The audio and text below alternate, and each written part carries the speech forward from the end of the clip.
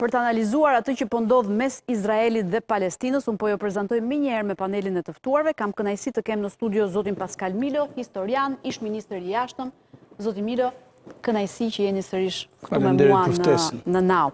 Neritan Alibali, analist, mirëmbrëma zoti Alibali, mirë se erdhe. Dritan Hoti, ekspert i marrëdhënieve ndërkombëtare, mirëmbrëma zoti Hoti. Mirë se erdhe. Esenka Meleqi është gazetarja jonë në Euronews Albania. Mirëmbrëma Esenka. Mirë se erdhe në nau. Për pak minuta do të na bashkohet në panel Joel Kaplan, është kryerabini i Shqipërisë. Ndërkohë, unë përpara se të analizojmë atë çka po ndodh mes Izraelit dhe Palestinës, do të shkojmë menjëherë në Izrael, aty ku po na pret Ambasadorja jonë shqiptare në Izrael, pra Meri Kumbe, për ta pyetur për gjendjen e shqiptarëve aty, sepse në këto momente na intereson shumë si janë shqiptarët, a janë ata të sigurt. Zonja Kumbe, mirëmbrëma, mirë se erdhe në nau. A, mund të të pyes fillimisht, a kemi një shifër sa është numri i shqiptarëve në, në Izrael? Ah, është pyetje e vështirë. Kemi uh, komunitetin shqiptaro-hebre me rreth 630 persona. Kemi rreth 50 persona të cilët kanë ardhur në Izrael 2-3 vitet e fundit dhe punojnë këtu. Mm -hmm. uh, ishim gjithashtu 10 uh, nxënës, kemi 10 nxënës uh, shqiptarë që studiojnë në shkollat ndërkombëtare të Izraelit. studentë që po përpiqemi tani t'i identifikojmë rast pas rasti kur na marrin në telefon. Ë uh, kishim edhe turistët që u gjendën rastësisht këtu. Zonja ambasadore, sa është numri i, i të evakuuarve dhe sa priten të evakuohen? Ndërkohë. Evakuimi nuk është fjala e duhur, Ok. Shqiptarët kanë kanë ikur që të transferohen pra në në Shqipëri. Po. Kanë ikur, kanë ikur në vullnet të lirë, që ditën që nisi sulmi ka qenë një proces në vazhdim, do të jetë kam përshtypjen gjatë gjithë kësaj kohe. Aeroporti Ben Gurion është njoftuar që është funksional dhe është i hapur, ka ende fluturime civile që ndodhin, Pra linjat ajrore normale që funksionojnë patjetër ka pasur shumë anullime, ishte e papritur dhe kjo solli patjetër solli kaos në orët e para.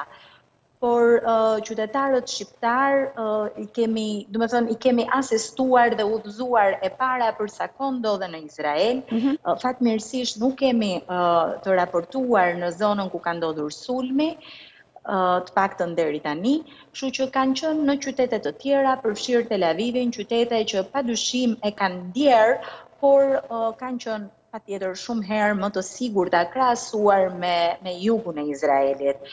Dhe gradualisht sugjerimi i parë dhe këshilla e parë ka qenë të jemi të qetë, të gjithë bashkë, Të ndjekim dhe të zbatojmë në formë strikte të gjitha rregullat e sigurisë, sipas njoftimeve të autoriteteve vendore këtu, dhe së treti gradualisht duke parë mundësitë për të udhëtuar në vende fqinje, si të krijohet mundësia për gjithsecilin. Zonja ambasadore, sot ishte raportuar për ardhjen e një avioni tjetër me shqiptarë, por nuk kemi informacione, a mund të na thoni diçka më shumë? A ka mbërritur? Sot, mhm. më sakt për saktësim, po? sot nisen disa shqiptarë të tjerë, presim mhm. tani në darkë dhe unë do më duhet të jem shkurt me ju, presim të nisen disa shqiptarë të tjerë, por nuk është një avion i dedikuar, janë, janë 10 shqiptarë konkretisht, që kanë... 10 shqiptarë, nga cila zonë? Po.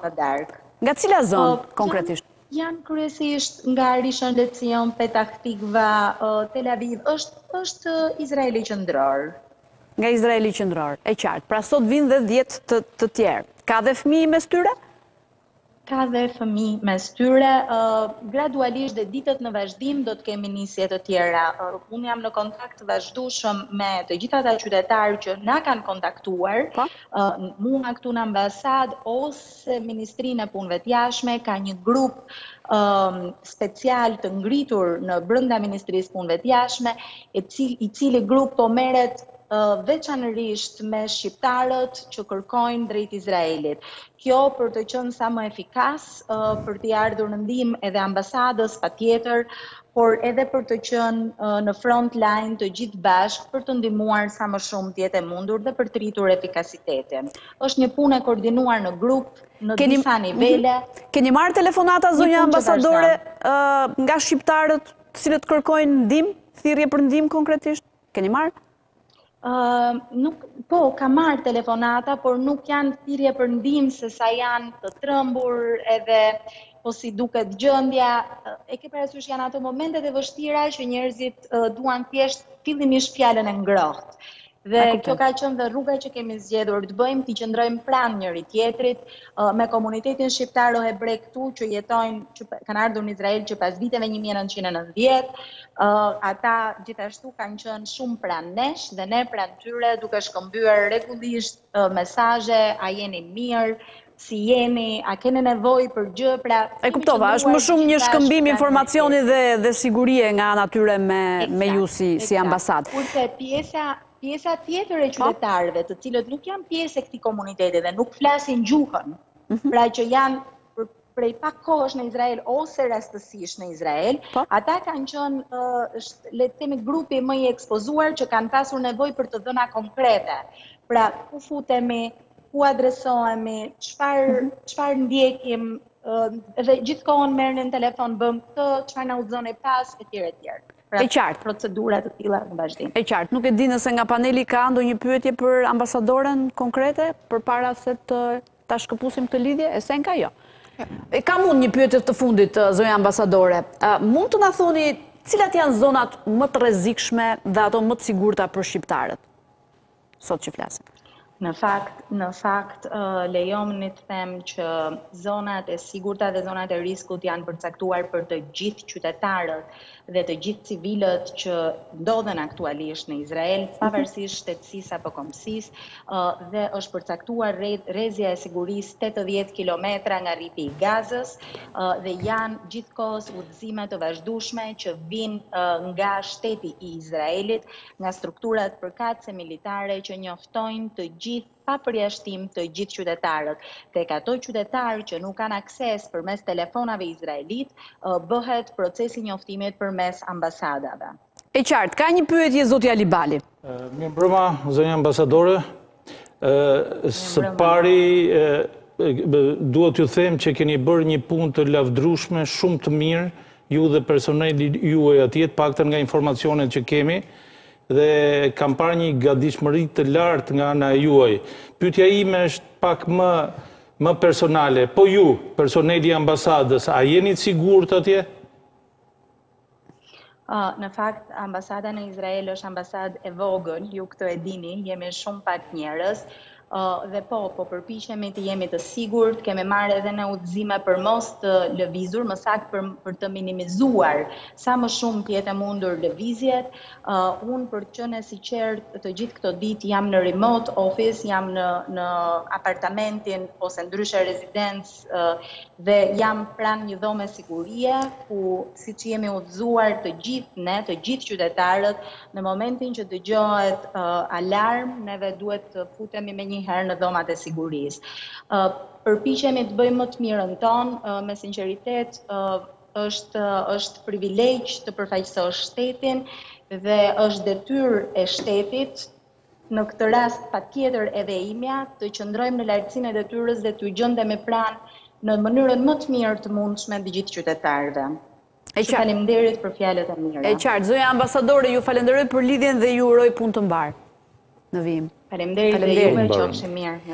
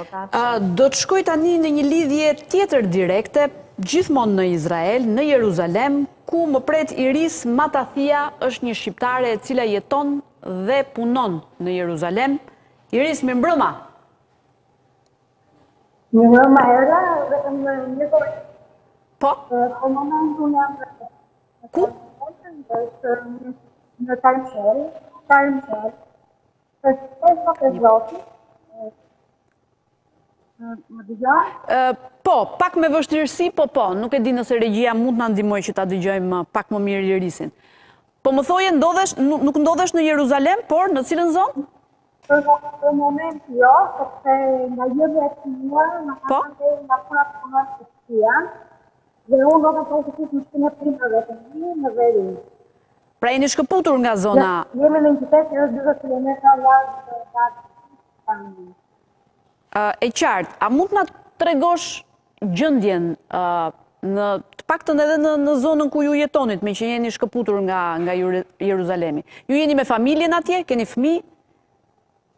Vetë jo, nuk jam e martuar, kam prindërit, kam vëllanë që është i martuar me tre djem, po.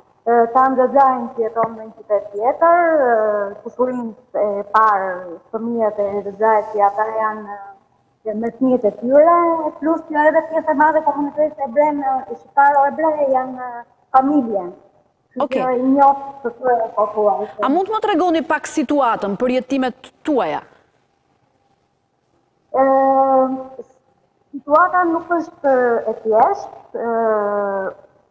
Për moment në qytetin ku jemi është qetësi,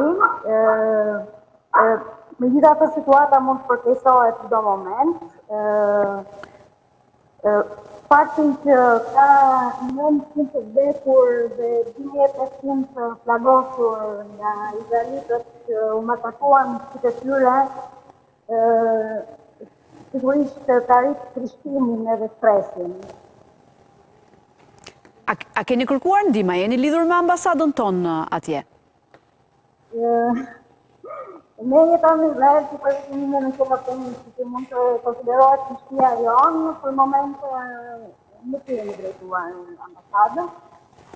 Unë me prindërit e mi ishim para dy javësh në Shqipëri dhe. Mund të them që jo, përgjigja është jo, nuk jemi drejtuar për moment. Pra, pra ju jeni të sigurt, mund të themi nuk ka asnjë rrezik, pra nuk jeni tek ata shqiptarë që do duan të të largohen nga nga Izraeli. Toni, dua të theksoj pak atë që tha edhe zonja ambasadore, që ata që kanë kërkuar të rikthehen në Shqipëri, nuk mendoj që janë pjesë e komunitetit shqiptaro-hebre në Izrael, janë studentë ose njerëz që janë martuar me izraelitë dhe që nuk e kanë ndjerë veten gjithsesi të sigurt dhe kanë kërkuar të kthehen në Shqipëri. Ok, ju vetë keni patur njerëz të afërm ose miq të cilët kanë kaluar momente të vështira atje? Nëse mund të na tregoni?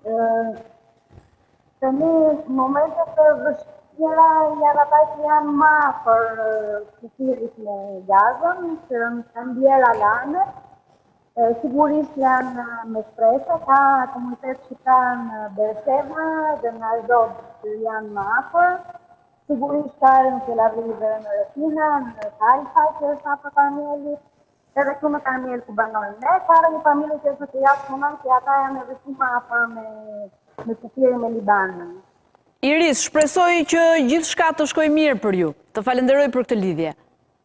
Për për për për për Të falenderoj. Të falenderoj. Do mbetemi në kontakt gjithsesi. Ne na është bashkuar në studio siç e thashë dhe në nisje të emisionit. Joel Kaplan është kryerabini i Shqipërisë, i cili do të qëndrojë për pak minuta me ne në një intervistë të shkurtër, mirëmbrëma, mirë se erdhët në Now, do të keni një përkthim në kohë simultane. Dua ta nis me ju. Si është gjëndja, zoti Kaplan, në Izrael, por dhe si janë familjarët tuaj? Ju keni familjen atje?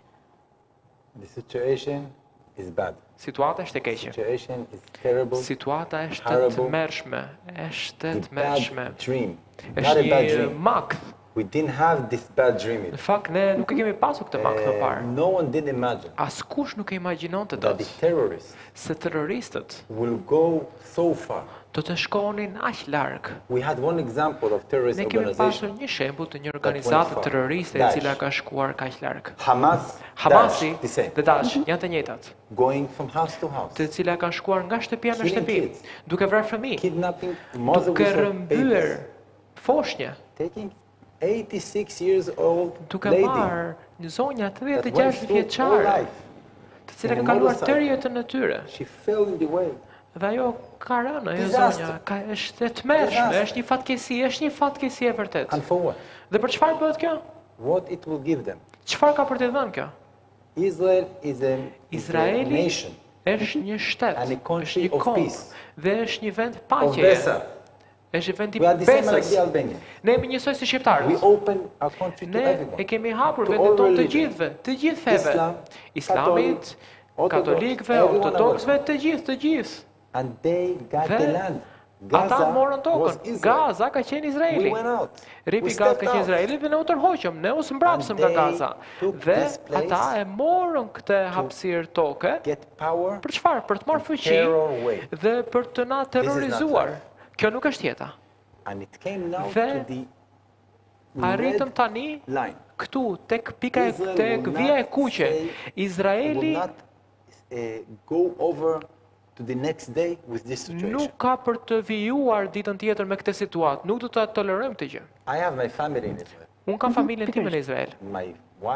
Bashkëshortja ime, ok, ne jetojmë këtu, kemi shtëpinë tonë, këtu në Tiranë, në Sauk, kemi sinagogën tonë, kemi komunitetin tonë, kemi komunitet biznesi, kemi turistët, dhe jemi duke i ftuar Izraelitët që të vijnë në Shqipëri, sepse e dua shumë Shqipërinë. Sërish ama unë kam familjen time, bashkëshorten time dhe njëmbëdhjetë fëmijët në Izrael. Djali më i rritur është një zyrtar ushtrie tani ndodhet në Gaza. Po, tanimë ndodhet në Gaza. Familja ime jeton në Bershev. Për më shumë se 10 vite, ne kemi raketa. Nga Gaza, dhe ne duhet të shkojmë tek streha jonë në mes të natës, dhe unë duhet të shikoj vetëm një natë, vetëm një natë në Tiranë, Nëse një shtet do të dërgonte raketa, vetëm një raketë, vetëm një raketë, jo një qind raketa, si do ishte situata? Shpresojmë që jo. Izrael learned Por Izraeli ka mësuar të jetojë në këtë mënyrë. Ok, ne kuptojmë se ata janë atje dhe ne jemi këtu. Megjithatë, kur ata të çajnë kufirin dhe të shkojnë përtej, tek civilët, tek civilët, jo tek ushtarët, Një gjë është luftimi midis ushtarëve me njëri tjetrin. E kuptova. This is it's kjo është kjo është këtë sulm ju e konsideroni si 11 shtatorin uh, tuaj. Sulme të tjera ka patur dhe më parë. Ku ndryshon ky i së shtunës pra, ky i fundit?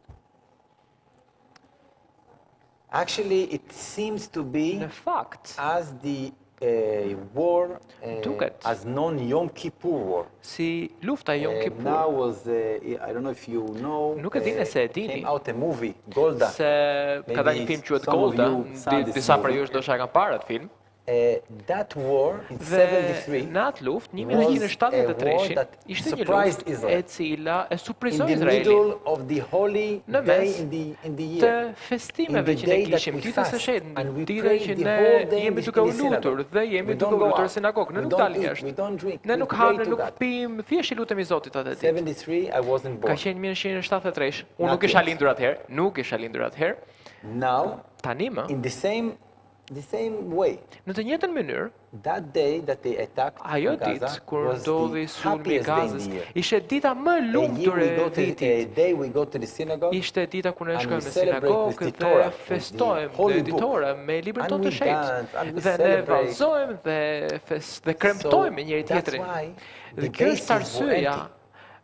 pse bazat ishin boshe, ushtarët kishin shkuar nëpër shtëpi, madje dhe djali im, i cili ishte ushtar, ata e kishin çuar për një ditë në shtëpinë.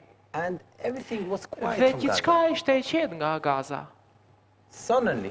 Papritur, papritur, në gjashtë të mëngjesit, bum, dërguan raketat, Block the eye, the technology, the technologic eye that you could see who's moving. Bllokuan atë teknologji për të parë se kush po kalonte, më pas i hipën motorëve dhe filluan sulmet e tyre. Ne nuk ishim të gatshëm për diçka të tillë. Dhe djalin e morën menjëherë nga shtëpia dhe e çuan direkt në fushëbetejë. Dhe në fakt, këtë mëngjes fola me djalin tim. Ai është një djalë shumë i fortë. Shumë, shumë i fortë. Shumë i zgjuar po ashtu. Ai ka studiuar për kibernetikë, dhe është një luftëtar shumë i zoti. Këtë mëngjes fola me të. Edhe ai po qante, po qante në telefonatën tonë. Ai kishte humbur 9 9 nga miqtë e tij të ngushtë. Deri tani nëntë nga miqtë e tij më të ngushtë janë të vdekur. nga komuniteti ti. Dhe unë mund t'ju them se unë jam shumë shumë i shqetësuar. Unë jam duke ju lutur Zotit për familjen time, për djalin tim. Por sërish, brenda dy ditëve, unë do të shkoj. Do të vesh uniformën time. Edhe unë jam kolonel. Do të shkoj të luftoj bashkë me djalin tim. Do të shkoj edhe unë për të mbrojtur vendin tim. Ne kemi të drejtën të mbrojmë vendin tonë. Ne nuk duam të të lëndojmë uh, ato. Jo, ne duam që ato të lenë armët. Ne duam që ato të thonë, ok, kaq ishte, në rregull, ata të jetojnë jetën e tyre, ne të jetojnë jetën tonë. A nuk keni frikë, zoti Kaplan? Që thoni do të shkoj mbas dy ditësh atje për të luftuar, nuk keni frikë? I'm very afraid. Kam shumë frikë. But uh, Por, I, I say there's no, there's no situation in, in, in life that is hard. që nuk ka asnjë situatë në jetë që është e vështirë. Ne kemi një sfidë përballë, përpara nesh. Dhe kjo është një sfidë. Kjo është një sfidë dhe ne duhet t'ja dalim. Dhe të gjithë ne duhet të shkojmë atje, duhet të shkojmë dhe duhet t'ja dalim. This is bringing right Kjo do të thotë të sjellësh të drejtën jo vetëm Izraelit, por gjithë botës. Pasja e një sulmi terrorist të tillë, pasja e një organizate terroriste të tillë në Lindjen e Mesme, të bëjnë çfarë të duan ata. Don't care about the life. Të mos interesojë fare jeta e njerëzve. Kjo është diçka e keqe edhe për Shqipërinë. Kjo është diçka e keqe për Evropën. Kjo është diçka e keqe për gjithë botën. Ne jemi duke luftuar luftën e gjithë botës. Prandaj do të shkoj atje. Unë nuk kam frikë. Kam për të shkuar dhe do bëj dhe dini çfarë? Let me say it very clear. Lejomë ta them qartazi për gjithë ju. Izrael Izraeli do të fitojë. Izraeli do të fitojë. Nuk ka fare pyetje për këtë gjë. For, uh, for two days, për dy ditë, ne kemi pasur shumë ushtarë, të cilët janë, kanë ardhur te qendra jonë, te sinagoga jonë, ato kishin ardhur për të vizituar Shqipërinë, ato erdhën për një vizitë, dhe kur ata dëgjuan se çfarë ndodhi, ndaluan pushimet e tyre këtu në Shqipëri, erdhën tek sinagoga jonë, u paketuan gjërat e tyre dhe u bënë gati për luftë dhe shkuan në Izrael. Unë fillova të punoj me ta për të gjetur avionin, ne kemi një fluturim direkt për të rikthyer shqiptarët në Shqipëri dhe më pas i çuam izraelitët tonë atje. Rabin Kaplan, A është kjo një luftë me bazë religioze, ose apo kthehet në një luft që pretendon të jetë e tillë, po në fakt ka motive të tjera? It has nothing to do with religion. Nuk ka asgjë të bëjë me besimin. War that has to do with religion. Lufta që ka të bëjë me fenë is we do it with our mouth. Është duke e bërë me gojë. When I have Kur unë a disagreement kam një mosmarrëveshje with Islam, me Islamin, I go to the mufti. Unë thjesht shkoj tek myftiu, i cili është miku im i mirë. Dhe diskutoj me myftiun, mikun tim. I go to Baba Mondi. Shkoj tek Baba Mondi. Dhe diskutoj me Baba Mondin. And he hugs me. Dhe ai më përqafon mua dhe ndajmë dashuri me njëri-tjetrin. Agreement, disagreement between religion. Mosmarrëveshjet midis feve. Cannot come to blood. Nuk mund të çojnë në gjakderdhje. Nuk mund të çojnë në vrasje familjesh, nuk mund të çojnë në vrasje fëmijësh dhe vrasje njerëzish. Dhe vrasje civilesh. Nuk ka të bëjë fare me fenë. Ata thonë se besojnë, se besojnë te islami. Jo, jo, nuk ka të bëjë fare me këtë. Zoti Kryerabin Kaplan, ju keni ardhur në fakt në studio edhe me tre fëmijët tuaj më të vegjël. Dhe teksa ju flisni dhe thoni pas dy ditësh do shkoni në Izrael për të luftuar atje, unë nuk i kam ndarë sytë prej tyre në fakt të cilët janë këtu në studion e Euronewsit, janë të ulur atje dhe po ju presin. Si do t'i lini ata? Ku do t'i lini?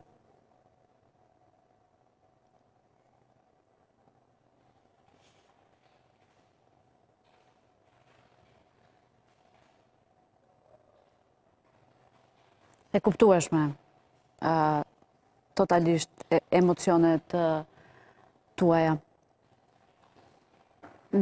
Ndjesë edhe për pyetjen, por ishte e pashmangshme.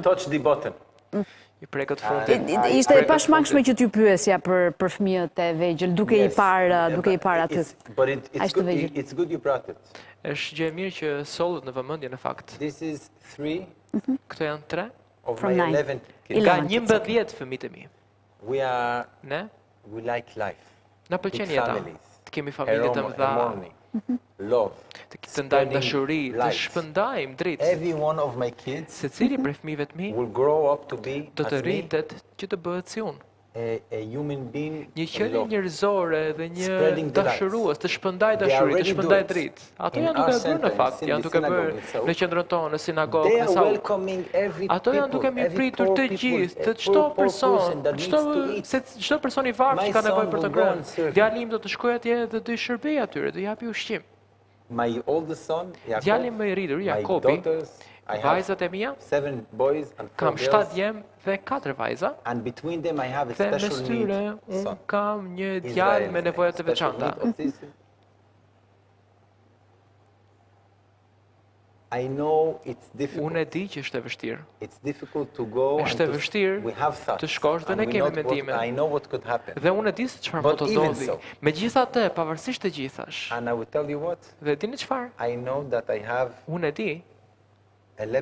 se kam njëmbëdhjetë fëmijë, të cilët do të vijojnë të njëjtën jetë që jam duke bërë unë tani. Prandaj unë jam i fortë. Jam i fortë dhe e njëjta gjë vlen me të gjithë njësinë time dhe njësoj si unë janë të gjithë njerëzit e Izraelit. Jemi besimtarë të mëdhenj. Ne besojmë tek Zoti. Ne themi tre fjalë. Am Israel haj. Am Izrael haj. Am is nation. Am është kombi, Izraeli. Life. Haj është jeta. This we say in every moment. Këtë gjë e themi në çdo çast. Këtë themi në çdo mbledhje tonën. Dhe ne e këndojmë Am Israel Haj. E këndojmë, e këndojmë në harmoni me njëri-tjetrin. Sepse kjo na ka shpëtuar gjatë Holokaustit. Një prej djemve të mi, më i vogli në fakt. Jo më i vogli, po ai që është këtu, Josefi. Kur ai lindi, When we called his name, kur ne e thirrëm emrin e tij, e mbajtëm atë. Holocaust survivor. Mhm. Një i mbijetuar i Holokaustit e mbajti, ishte 96 vjeç. Ishte heroi i këtij personi, Jose Mejalion. And he dhe ai is my example for life. Është shembulli im për jetën. He told me. Ai më tha. What saved him in Holocaust? Ajo që e shpëtoi atë person në Holokaust ishte besimi. Ishte besimi dhe këto fjalë. Am Israel Haj. And I think Edhe unë mendoj se kombi shqiptar, Kosova dhe Izraeli janë duke u përballur me të njëjtat sfida. Me të njëjtat sfida. Dhe kjo i vendos dhe i sjell kaq pranë kombet tona sa ne nuk kemi për t'u dorëzuar, kurrë nuk do të dorëzohemi. Thjesht për ta sqaruar për publikun që fëmijët janë me ne në studio, por për arsye etike sigurisht ne nuk mund t'i shfaqim ata dhe përpara, sepse janë të mitur, sigurisht, dhe duam të ruajmë imazhin e tyre. Ndërkaq, përpara se të largoheni kryerabin Kaplan, nëse kolegët e mi dua ta përfshij në fakt edhe studion, nëse kanë diçka për të thënë ose një pyetje, profesor Milo, profesor Alibali,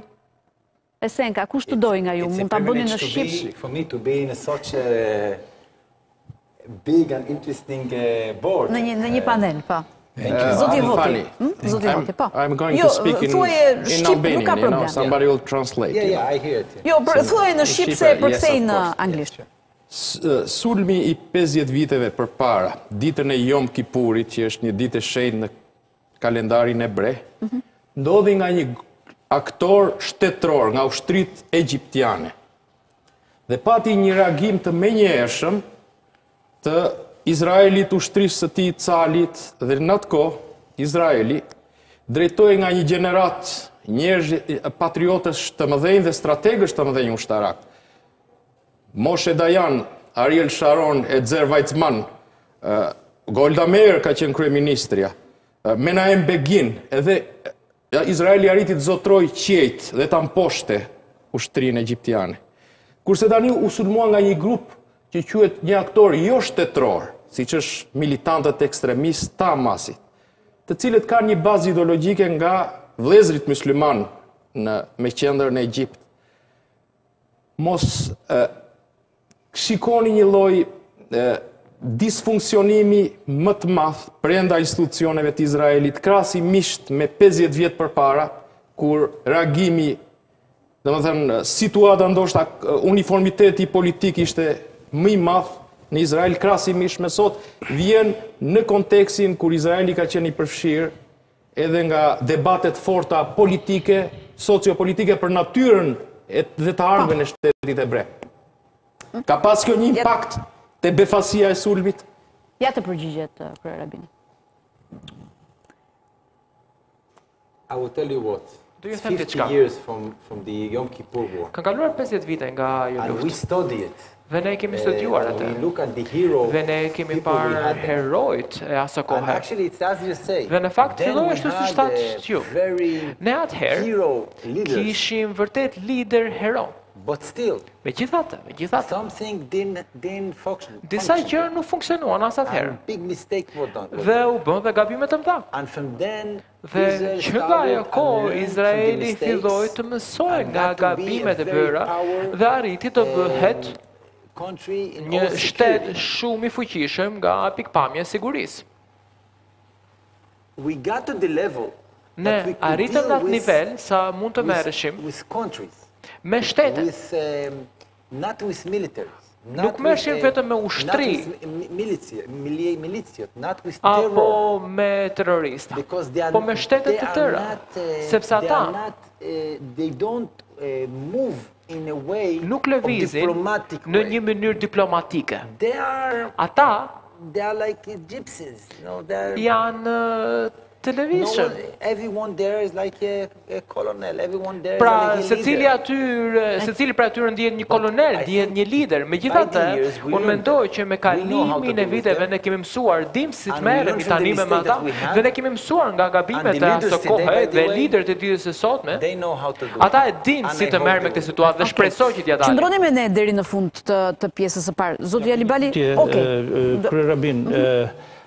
A mendoni që do jetë një luftë e gjatë apo do të mbarojë shpejt?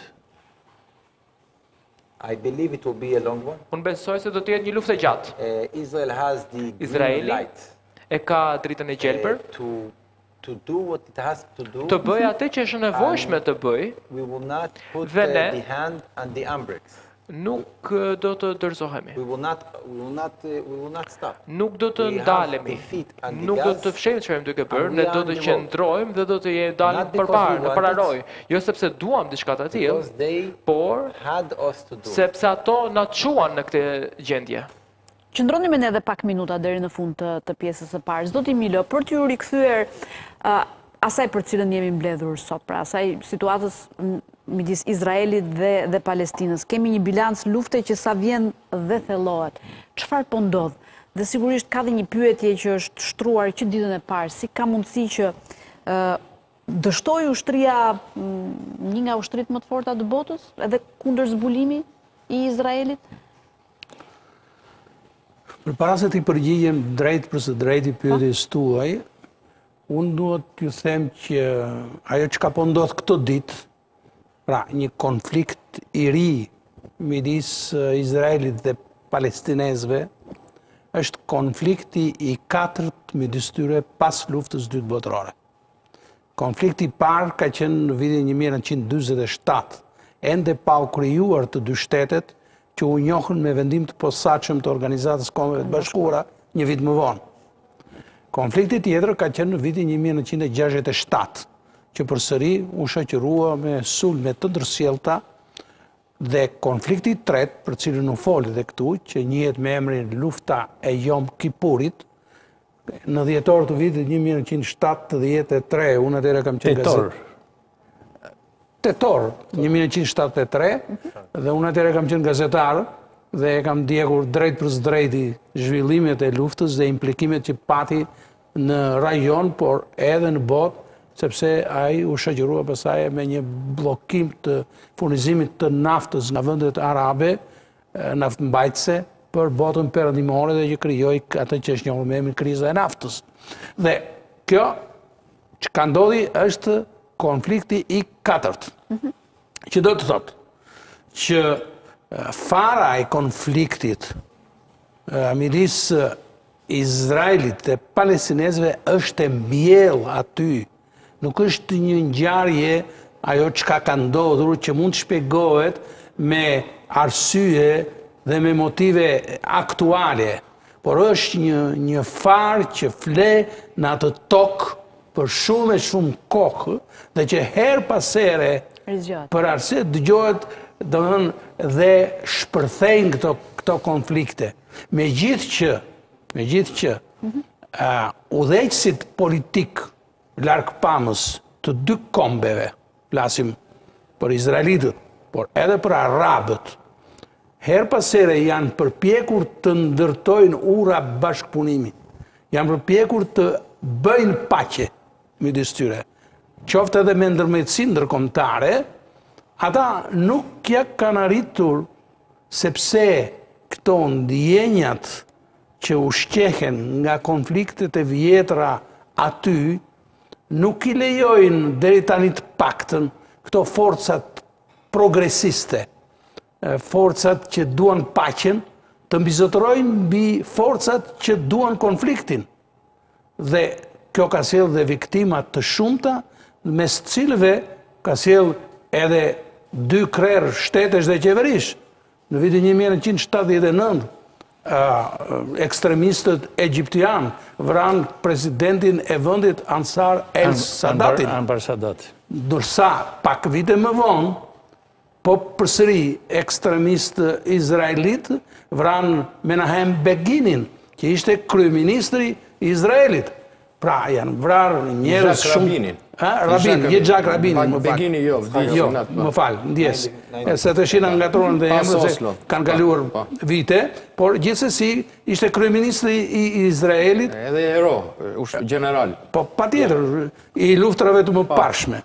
Kështu që Ky konflikt, duke pasur rrënjë të thella historike, tashmë këtu na shfaqet në një edicion të ri dhe mënyra se si do të zhvillohet ai besoj se do të jetë një konflikt që do vijë duke u ashpërsuar deri në një moment Kur besoj se forcat e arsyes, por edhe ndërhyrja e komunitetit ndërkombëtar do të arrijë që ta ndalojë luftën dhe të përpiqet të bëjë një paqe sa më të gjatë që të jetë e mundshme, nuk them e përhershme, sepse ende aty ka faktorë dhe aktorë që kërkojnë konfliktin, por duhet patjetër një ndërhyrje ndërkombëtare me qëllim që të ndalet konflikti dhe të futet në rrugën e dialogut dhe të negocimit për një paqe të qëndrueshme. Për armëpushim, më shumë se sa për paqe, sepse gjithë kohës armëpushim është folur. This is right what you say, having a dialog për këthim. Është shumë e rëndësishme të kemi dialog dhe të kemi një proces ndërtimi paqe, siç ndodhi atëherë, nëntëqind e nëntëdhjetë e dyshin. Yitzhak Rabin, dhe Yitzhak Rabin, i cili e ndoqi këtë proces me Simon Peresin.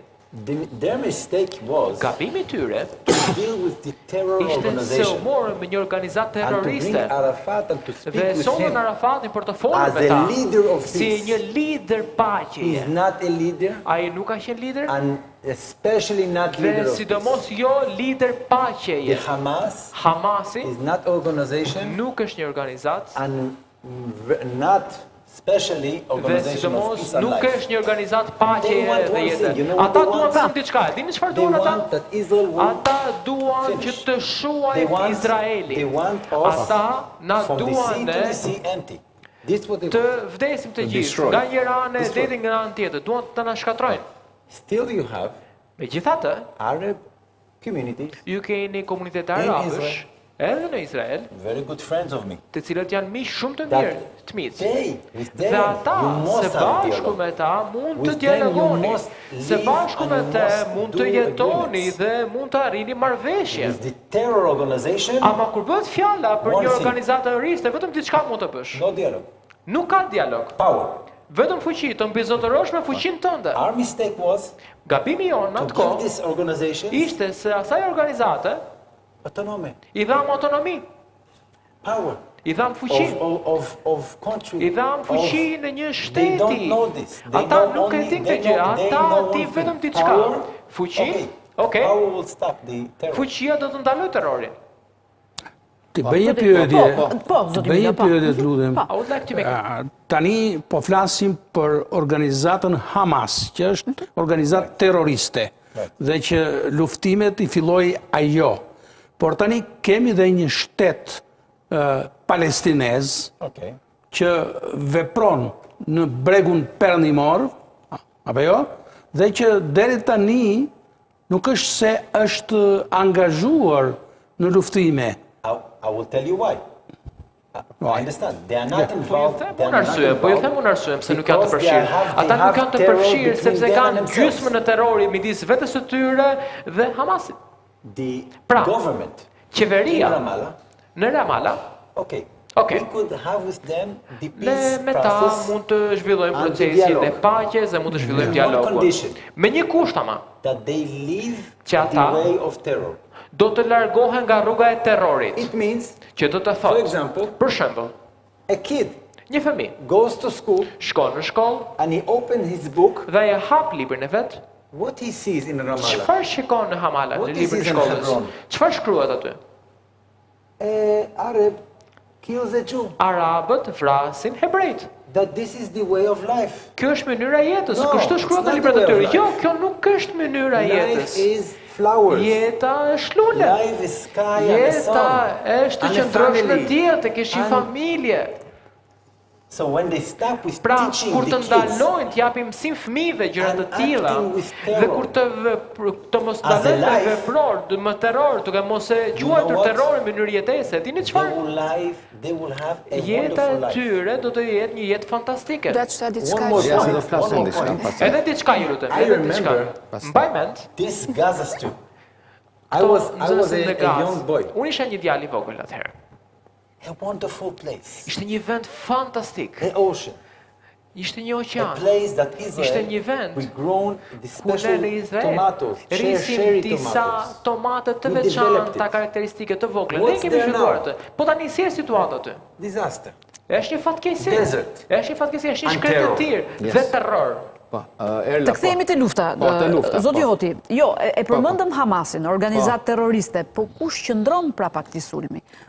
Kush i financon? Shiko, Hamasi njëherë ka përmbajtje ideologjike, që edhe për teleshikuesit tanë, matrica fetare vjen nga vëllezërit myslimanë, dhe një version radikal i tyre, që quhet kutbizmi, Sajid Kutb ka qenë pasuesi i Hasan al-Banës, që themeloi në planin ideologjik dhe si platformë atë që e quajnë panarabizmin dhe shkroi dhe një libër, atë e vranë shërbimet sekrete të Farukut, mhm. edhe pastaj kutbizmi predikonte radikalizimin e po. veprimtarisë politike dhe po. ushtarake të arabëve ose muslimanëve. Hamasi është po. krijuar në këtë kontekst dhe ka pas disa organizata dhe partia Refah e Erbakanit në Turqi ka qenë e frymëzuar nga vëllezërit myslimanë. Pra, epiqendra ideologjike ka qenë në Egjipt. Hamasi është krijuar me qëllim, domethënë, me objektiv për të zëvendësuar Fatahun, edhe Arafatin pastaj në versionin e tyre ishte i pasuksesshëm. Por, Hamasi e ndërmori këtë sulm, Për dy tre arsye. E para po. njëherë ka të bëjë me politikën e brendshme palestineze dhe e dyta është e ndërlidhur me konstelacionin ndërkombëtar se se çfarë po luhet në lindjen e mesme. Kemi tre vjet, kemi një sërë marrëveshjesh normalizuese, pra të marrëdhënieve ndërmjet Izraelit, dhe... Sudanit, uh -huh. Marokut, Emirateve të Bashkuara, Bahreinit edhe Arabisë Saudite. Pra, evenimentet një konstelacion i ri po tejkalonte gjendjen politike të Hamasit. Pra, ka një prapavi ushtarake ka dhe një prapavi gjeopolitike në rajon. Për më tepër, Hamasi mhm. është bashkuar me Hezbollahun, që të dyja organizatat kanë qenë në në Iran. Më po, vonë, po, po të dyja po, po ju tregoj, të dyja kanë qenë në antagonizëm me njëri-tjetrin, po. pasi Hezbollahu përkrahte Bashar al-Assadin, ndërsa Hamasi ka përkrahur opozitën siriane dhe flitet në mediat amerikane sot që ka pas takime të mbajtura në ambasadën iraniane në Bejrut, ndërmjet përfaqësuesve të shërbimeve sekrete iraniane dhe tre organizatave terroriste, Hamasit, Hezbollahut dhe Xhihadit Islamik. Dhe e katërta, kjo ndodhi në një kontekst... Pra qëndron Irani prapa Hamasit, prapa sulmeve të Hamasit? Hipoteza në nivel hipotetik, po, pastaj duhen parë informacionet e klasifikuara se ka të bëjë me botën e spiun, të mirëfilltë spiunazhit. Dhe e katërta, pse në këtë moment? Sepse Izraeli Ka qenë i përfshirë nga një debat intelektual dhe po e quajmë konceptual për të ardhmen e tij. Mhm. Netanyahu po predikonte deri diku një version të hebraizmit disi konservator, konservator edhe më shumë religjioz dhe ai kishte disa objeksione përkundrejt nëpunësve që domethënë anëtarëve të shërbimeve sekrete izraelite të cilët në perceptimin e tij i konsideronte edhe si të majtë. Pra kishte një lloj deficience në koordinimin e aksioneve të brendshme të sigurisë të mbrojtjes së Izraelit. Dhe si rrjedhojë e kësaj, meqenëse kryeministri Netanyahu mhm. e ka paraqitë veten përpara opinionit të popullit hebre, që është një popull i emancipuar demokratikisht dhe shkencërisht dhe intelektualisht, si mishërimi ose garantuesi i sigurisë së shtetit të Izraelit pasi kjo ofensivë, sepse janë në gjendje lufte, të kalojë, do të ketë një debat të madh të brendshëm në në në lidhje me rolin e tij, do të jetë një debat me përmbajtje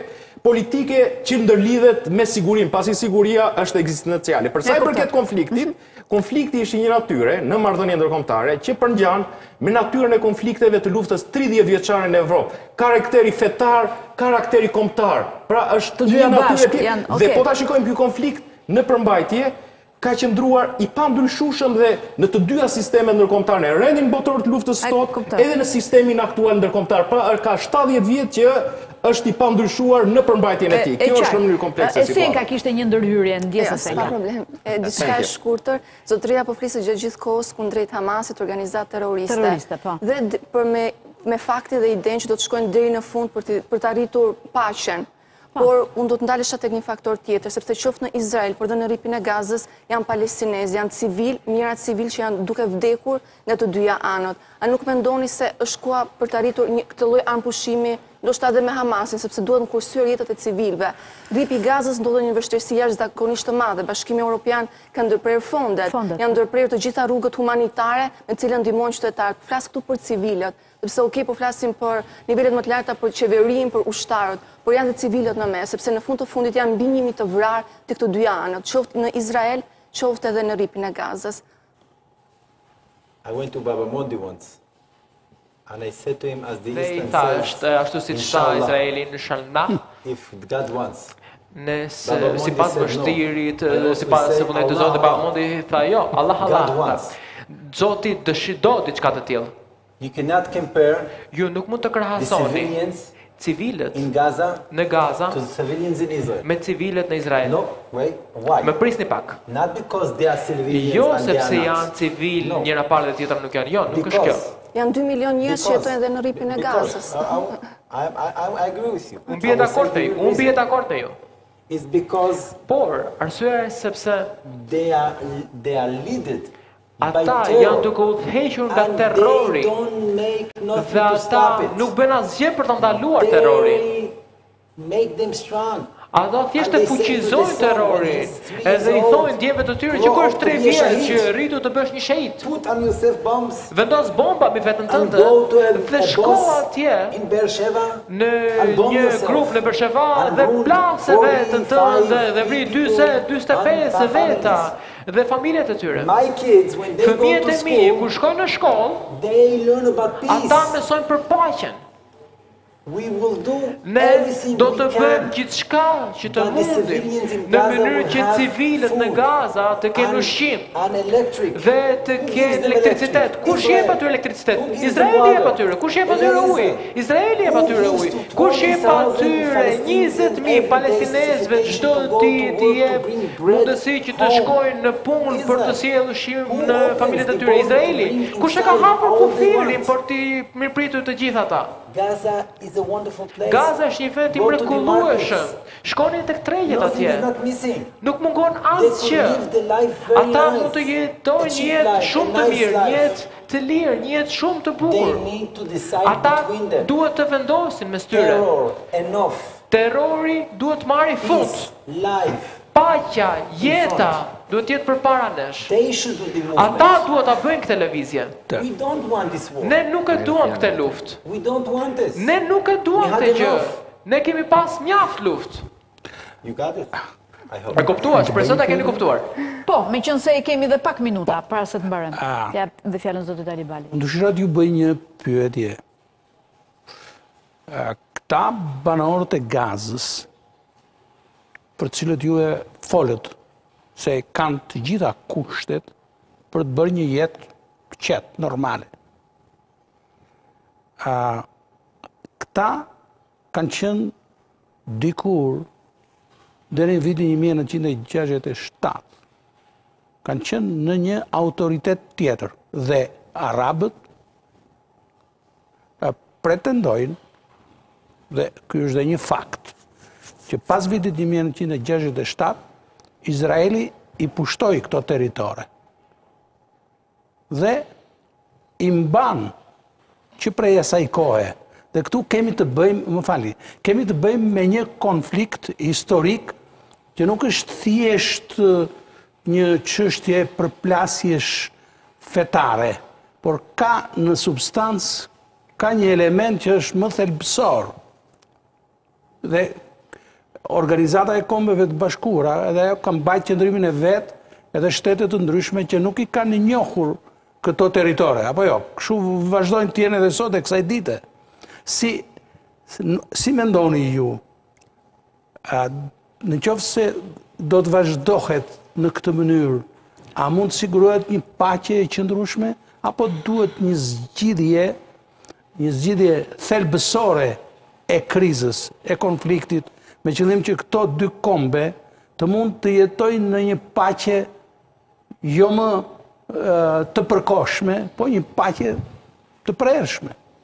Si e mendoni, si do të zgjidhet ky problem? Se nuk është thjesht se bombardohet sot, bombardohet nesër, bëhet një paqe përkohshme dhe rifillojnë prap nga e para. Si e mendoni ju? I will tell you. It goes two ways. Do ju them. Shkon përmjet dy mënyrash. Si fillim, le të bëjmë diçka mjaft të qartë. Izraeli nuk ka interes në luftë. Nuk ka as edhe një interes të shkojë brenda në Gazë, të pushtojë Gazën, nuk ka interes që të pushtojë ndonjë vend. Jo, ne nuk kemi asnjë interes për këtë gjë. Në Jereçavo Ne nxorëm njerëzit nga Rripi i Gazës dhe kemi pasur dhe plane për ta vazhduar dhe në vend tjetër, ok? Pyetja është, çfarë morëm ne si kthim? Morëm raketa. Ne dhamë Rripin e Gazës dhe pamë terroristë, pamë raketa. Izraeli ka një arsye për të qenë aty. Për të për të strong Power State. Për të gjetur një shtet të fuqishëm dhe të pavarur dhe për të mbrojtur njerëzit e Izraelit. Kjo është e vetmja arsye pse Izraeli ka për të shkuar atje. Në të gjitha vendet, ne duam të shkojmë aty vetëm për mbrojtje. Pse? Sepse ata Nuk e lenë armën nga dora e tyre, nuk dorëzohen. Ne do të bëjmë gjithçka të mundemi së bashku me kundrejt Hezbollahut dhe Iranit në mënyrë që ne, sepse ata do të kenë më shumë raketa dhe do të vijojnë me këtë terror. Ka ardhur koha tani. Do flasim në pjesën e dytë për raketat. Që të japim një përgjigje. të fuqisë dhe ne duam t'i tregojmë se nuk do të qëndrojmë më në strehët tona në shtëpi dhe do i lejojmë ata të na godasin me raketa. Jo, kjo kohë ka mbaruar. Asnjë raketë tjetër nuk do të dërgohet kundrejt Izraelit. Gjithçka do të mbrohet. Dhe nëse ata vendosin në këtë mënyrë, më besoni, ne mund të nisim dialogun dhe mund të vijojmë dhe mund t'i falim ata. Dhe mund t'i mundësojmë atyre të jenë një vend i pavarur me gjithçka që dëshirojnë ata. Madje dhe një aeroport mund ta kenë ata. Kryerabin. Po, pse jo? Dhe ne do të flasim në pjesën e dytë për raketat dhe për fuqitë ushtarake edhe të Palestinës dhe të Izraelit. Unë ju falenderoj shumë që ishit sot këtu me mua në Now. Shpresoj që çdo gjë të shkojë mirë. Do t'ju lë te fëmijët tuaj që po ju presin. Faleminderit shumë, faleminderit shumë, në këtë çast dua të bëj një lutje, dua të lutem, dua të lutem për të gjithë njerëzit në Izrael, për shqiptarët të cilët jetojnë në Izrael, për qeverinë e Shqipërisë, për kryeministrin dhe për ministrat dhe për qeverinë dhe për deputetët, të gjithë janë miqtë e mi. dhe duhet ta mbështesin Izraelin. Kryeministri dhe qeveria janë shumë mirë, megjithatë lutjet duhet të shkojnë për njerëzit. Yeah. Më shumë. Yeah, and okay, okay. And pray for the soldiers. Dhe unë i lutem po ashtu dhe për ushtarët. And pray to the people of Gaza. Dhe lutem dhe për njerëzit në Gaza. I pray for everyone. Unë lutem për të gjithë. Se paqja do të vijë tek ne. Se mirësia e mira do të vijë tek ne. Jeta do të vijë tek ne. Dhe ne do të jemi shumë pranë. Dikush më pyeti, a do të jetë një luftë e gjatë apo një luftë e shkurtër? Dikush më pyeti nga ju. I lutemi Zotit që do të jetë një luftë sa më e shkurtër që të jetë e mundur. Dhe të shpresojmë që brenda pak ditëve do të arrijmë paqen. Le të shpresojmë, le të lutemi. Ata do të kenë jetën e tyre, ne do të kemi jetën tonë.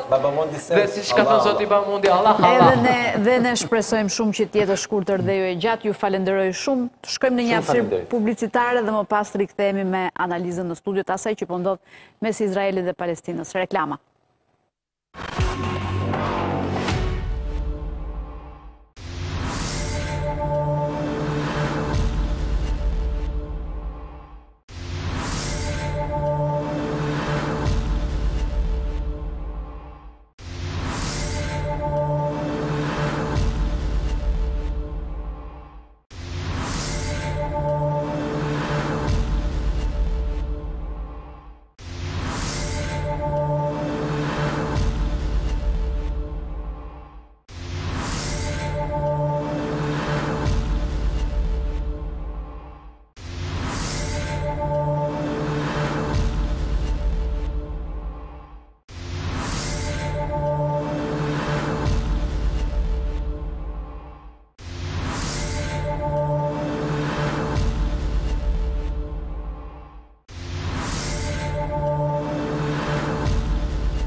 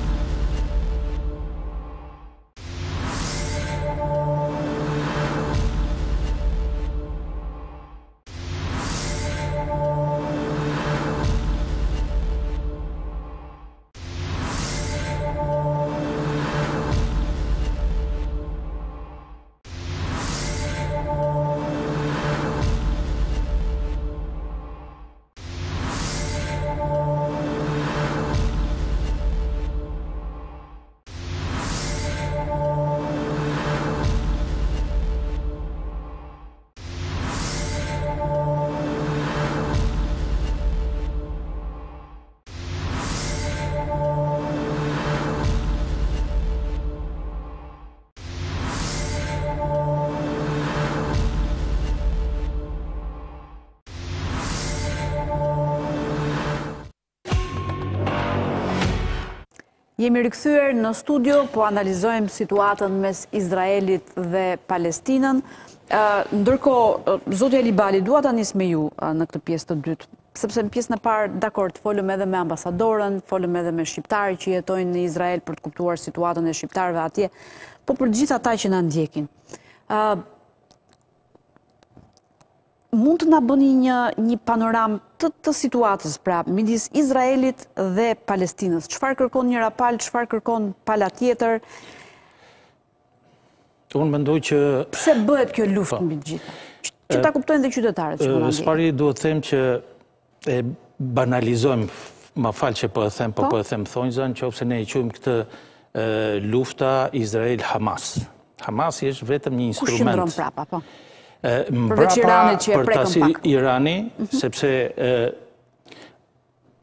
Lindja e Mesme ka ardhur në një situatë që po shkonte drejt një procesi paqeje. Paqe, e po. Kemi parasysh Mbaroi ajo pranvera e tmerrshme arabe, u shkatërrua shteti islamik, pamë që filloi që vendet e, sidomos vendet e gjirit persik, Arabia Saudite dhe vendet e tjera kanë një bum ekonomik dhe po kërkon gjithmonë e më tepër që i gjithë rajoni të jetë një rajon paqe dhe sigurie, Është ajo që tha dhe zoti Hoti duke filluar nga viti 2020 po fillojnë të nënshkruajnë ato që quhen Abraham Accords, që janë një set marrëveshjesh, dua t'ju them që quhen Abraham Accords, për hir të Abrahamit, është gjetur si figurë historiko-fetare që dhe konsiderohet babai i tre feve monoteiste, hebraikes, të krishterës dhe islamikes. Pra, është gjetur një figurë për t'i përfshirë të gjithë. Dhe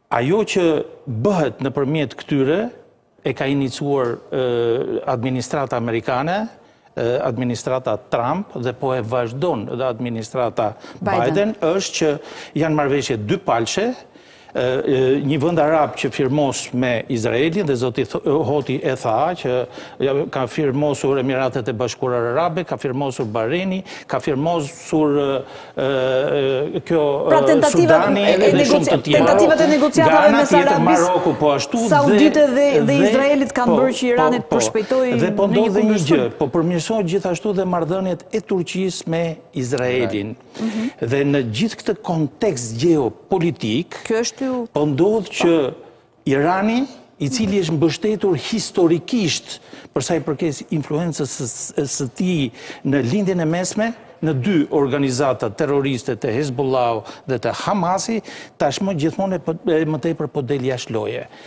Prandaj e thashë që e banalizojmë po themi Hamasi me Izraelin. Keni parasysh një gjë, që rripi i Gazës është 40 kilometra i gjatë, Tiranë-Durrës, po. dhe është diku maksimumi dhjetë kilometra i gjerë, ku jetojnë rreth dy milion, dy milion e treqind mijë banorë. Furnizohet me energji elektrike, është i rrethuar dhe ka një marrëveshje dhe me Egjyptin që të mos lejohet asnjë furnizim armësh e tjera e tjera.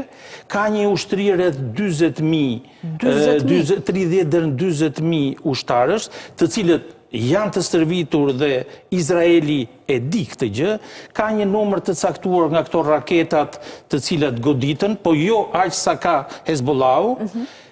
dhe është përdorur Hamazi si një mish për top për të krijuar një situatë e cila do rrëzojë këtë, si të thuash, këtë këtë këtë proces paqësor të ngadaltë që po vjen. Ka një element tjetër nga ana e Izraelit. Për hir të së vërtetës duhet të themi që në qershor të vitit 2023 Blinkeni, sekretari i shtetit të Shteteve të Bashkuara të Amerikës, i ka tërhequr vëmendjen Izraelit se po tensionon situatën me palestinezët dhe kjo do të çojë në frenimin e këtyre Abraham Accords-eve, të cilat marrëveshjeve Abrahams, të cilat po afronin dhe Arabinë Saudite që është ndoshta fuqia, jo ndoshta, po vërtet fuqia më e madhe në Lindjen e Mesme, duke përjashtuar Izraelin. Po.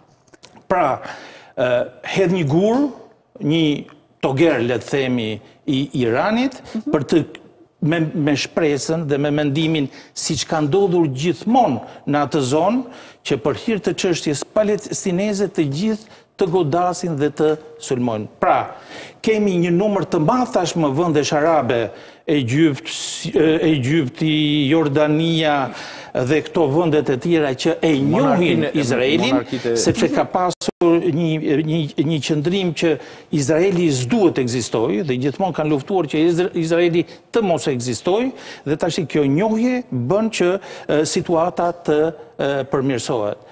Në këtë aspekt do të thoshnja që unë e konsideroj një luftë të shkurtër në aspektin e luftës tokësore, domethënë, në terren. Po, po, duhet afatgjatë, duke marrë parasysh të gjitha aksionet që do të ndodhin, sepse vërtet do ketë një frenim, në po. këto kushte nuk mund të vazhdojë ky proces derisa të arrihet një situatë paqe, për hir të vërtetës duhet thënë që të gjitha vendet arabe Deri tani kanë reaguar pozitivisht, pra kanë kërkuar që palët të ndalojnë zjarrin dhe të ulen të zgjidhin çështjet me bisedime. Duhet kemi parasysh se është unë mendoj që është i kotë është e kotë frika e sulmit nga Hezbollahu, Duhet kemi parasysh faktin që gjithë kufiri, Liban, Izrael, mbrohet nga trupat e OKB-s po. dhe ardhja e grupit marinës ushtarake amerikane, mendoj që nuk është për të mbrojtur Izraelin, se Izraeli e ka e shtyp brenda ditës Rripin e Gazës, po është për të mos lejuar Hezbollahun të sulmojë në rrugë tokësore Izraelin. Natyrisht, bëri dhe Hezbollahu një goditje simbolike kundër Izraelit me disa raketa, iu përgjigj, iu kundërpërgjigj Izraeli dhe aty ka përfunduar të paktën deri tani. Dua të pyes, profesor Milon, pse pikërisht Rripi i Gazës. Për ta sqaruar për ata që na ndjekin më shumë. Rripi i Gazës, ju e dini tashi që autoriteti palestinez mhm.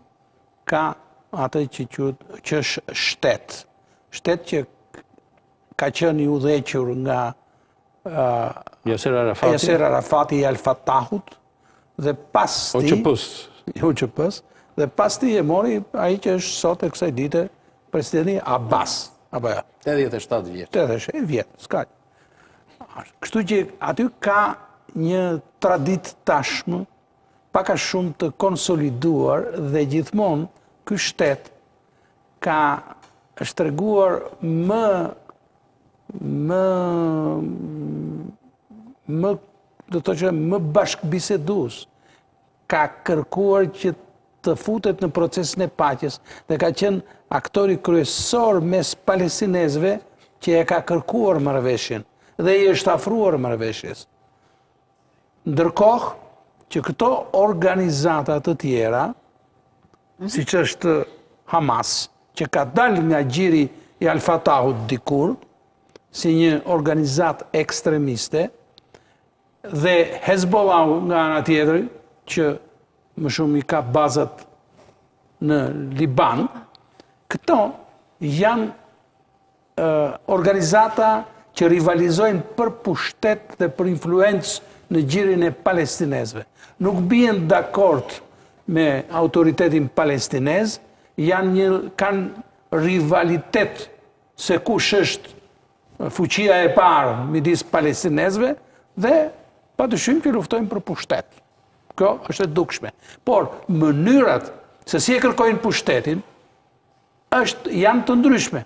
Dhe ata kanë të tria, qoftë autoriteti palestinez, qoftë Hamasi, qoftë dhe Hezbullahu, kanë apo dhe ndonjë organizatë tjetër, terroriste, Xhihadi Islamik, këta kanë objektiv kryesor, kanë Izraelin.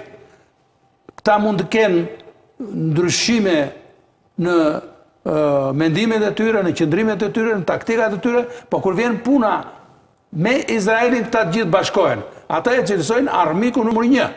Dhe për ta ai është. Por, ata nuk bashkohen për shkak të luftës së brëndshme që kanë për pushtet. Kjo i udhëheq ata më shumë. Prandaj shohim po. metoda të ndryshme dhe kjo lufta, për shembull, kjo që bëri Hamasi tani, mhm. Për mendimin tim, është për t'u dëshmuar në radhë të parë palestinezëve po. që ne jemi po, po. luftëtarët kryesor kundër Izraelit. Nuk është autoriteti palestinez, nuk është Abbas dhe administrata e tij, por jemi ne dhe ne duhet të na mbështesni. Dhe këtu, mhm. ka dhe një faktor tjetër në logjikën time, nuk duhet të nënvlerësojmë Pavarësisht se nuk kemi faktet drejtpërsëdrejti, rolin e Iranit.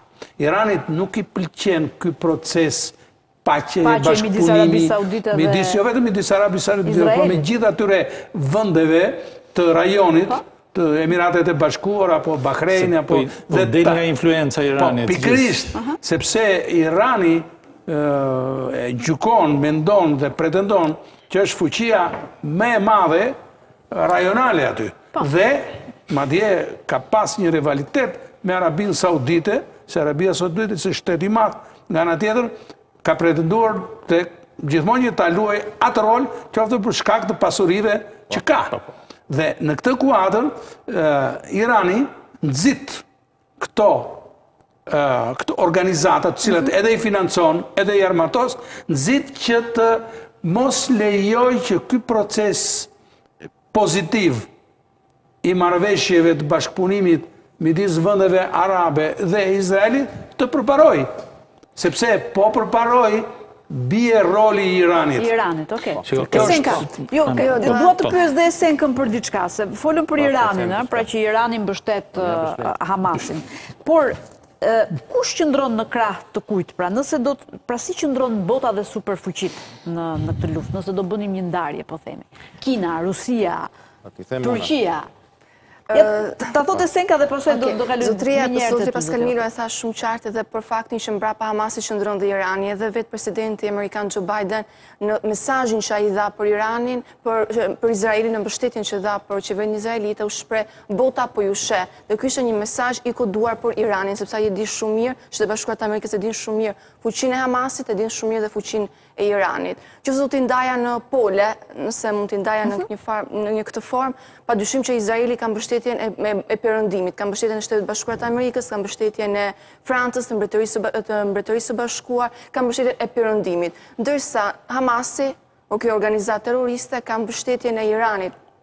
Aktualisht, derisa edhe presidenti Erdogan, fakti që deri diku ka patur këto kundërshtitë e tij me Izraelin, kohët e fundit është shfaqur i tërhequr, madje kanë filluar edhe marrëveshjet, edhe në deklaratën që ai dha dy ditë më parë, u shprej qartë që ka ardhur koha për një zgjidhje qoftë për Palestinën, qoftë edhe për Izraelin, zgjidhja me dy shtete, zgjidhja me dy shtete duke anashkaluar në këtë formë edhe mbështetjen që ai mund të ketë për duke duke anashkaluar kundërshtinë që ai ka me me Izraelin. Kjo është Irani është shteti më i fuqishëm që më i fuqishëm që po mbështet Hamasin. Zoti Hoti. Po. Edhe jo, doja t'ju pyesja edhe diçka. Të gjithë këtu e pranuam që Izraeli është superfuqi po. kur vjen puna ushtarake, po, po. themi. Pse e provokoi Hamasi këtë sulm, kur e di me, me, me kë po përballet. Shiko, e para njëherë Irani, sjellja e tij lidhet me atë që quhet si se ndërtohet një ideologji kombëtare dhe elementët përbërës. Ka një elitë që është teokratike, dhe Irani është një fuqi revizioniste e marrëdhënieve ndërkombëtare në Lindjen e Mesme. Ndyshe nga Turqia e Erdoganit, e cila ka Vektor interesash te popullsitë pan-turke, në ato turkofonet e Azisë Qendrore, kërkon referencat historike në Ballkan, po është dhe pragmatike në momentet e saja. Mhm. Irani ka kaluar në skajshmëri të asaj që quhet revizionimi i marrëdhënieve ndërkombëtare dhe është bërë një aktor agresiv. E dyta, Për sa i përket shteteve të mëdha traditë, Shtetet e Bashkuara janë një aleat i pandërprerë i shtetit të Izraelit. Ndërsa Rusia ka qëndrime në disa rajone të botës që i referohen piketave të politikës së jashtme të Bashkimit Sovjetik. Pra, po. dhe do t'u qëndrojë, nuk do të jetë me një gjuhë të drunjtë për sa i përket, por nuk do të shkëputet nga aleatët e saj tradicionalë arabë.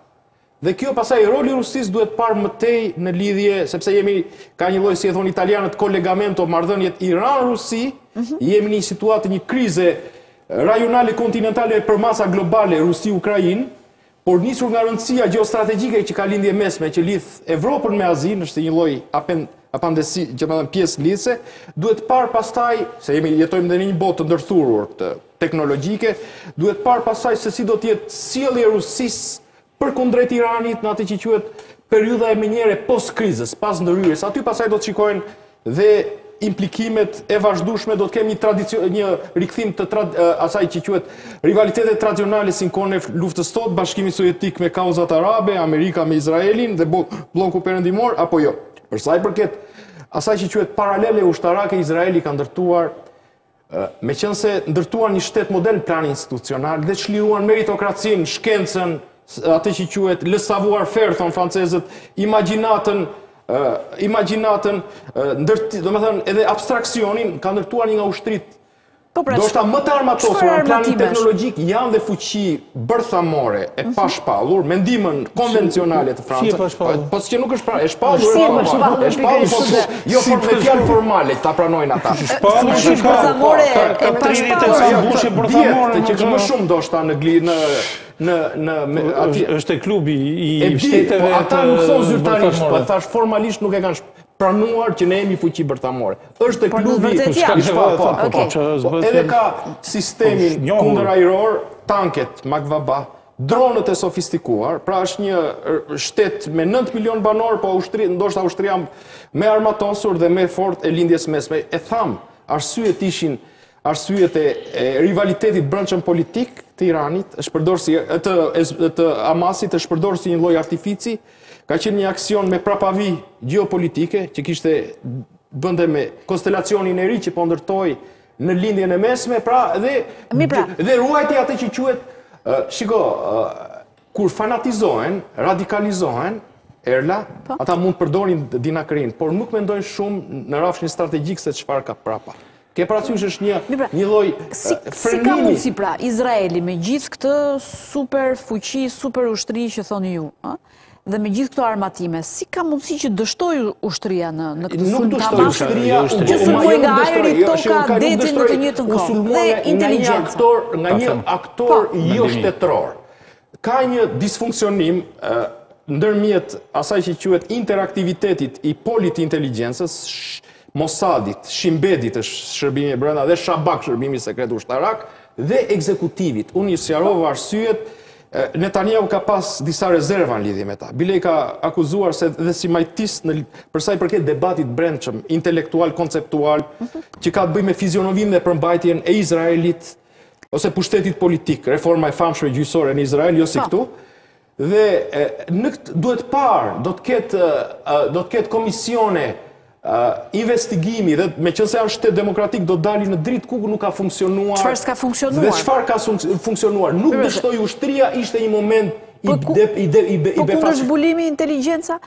Se në fakt është një pyetje që e ngrenë thuajse të gjithë analizat që kam lexuar përgjatë prej ditëve. Po e ata kanë pas informacione. Po? Që në fillim të verës ia kanë adresuar qeverisë Izraelit që Irani po përgatiste, Mosadi, të atentate jashtë territorit Izraelit përkundrejt liderve politikë Izraelit dhe se Izraeli do t'i përgjigjej me të njëjtën monedhë. Në këto kontekste ka pas informacione. Për sa i përket disfunksionimit, ky është një debat i madh, i cili po artikulohet në mediat më prestigjioze të botës, që ka të bëjë domethënë me mosfunksionimin ose the failure që quhet të shërbimeve sekrete Izrael, kurse Hamasi e sulmoi se për, për të arritur misionin e tij ushtarak momental, turbullues gjeopolitik, por pa menduar, po, domethënë shkaqet dhe pasojat që rjedhin. Vazhdo, zë të libati, po, dhe shtu? Se u tha këtu që Hamasin e mbështet Irani, në fakt, Iranin e mbështet Hamasi sipas konceptit tim, kuptimin që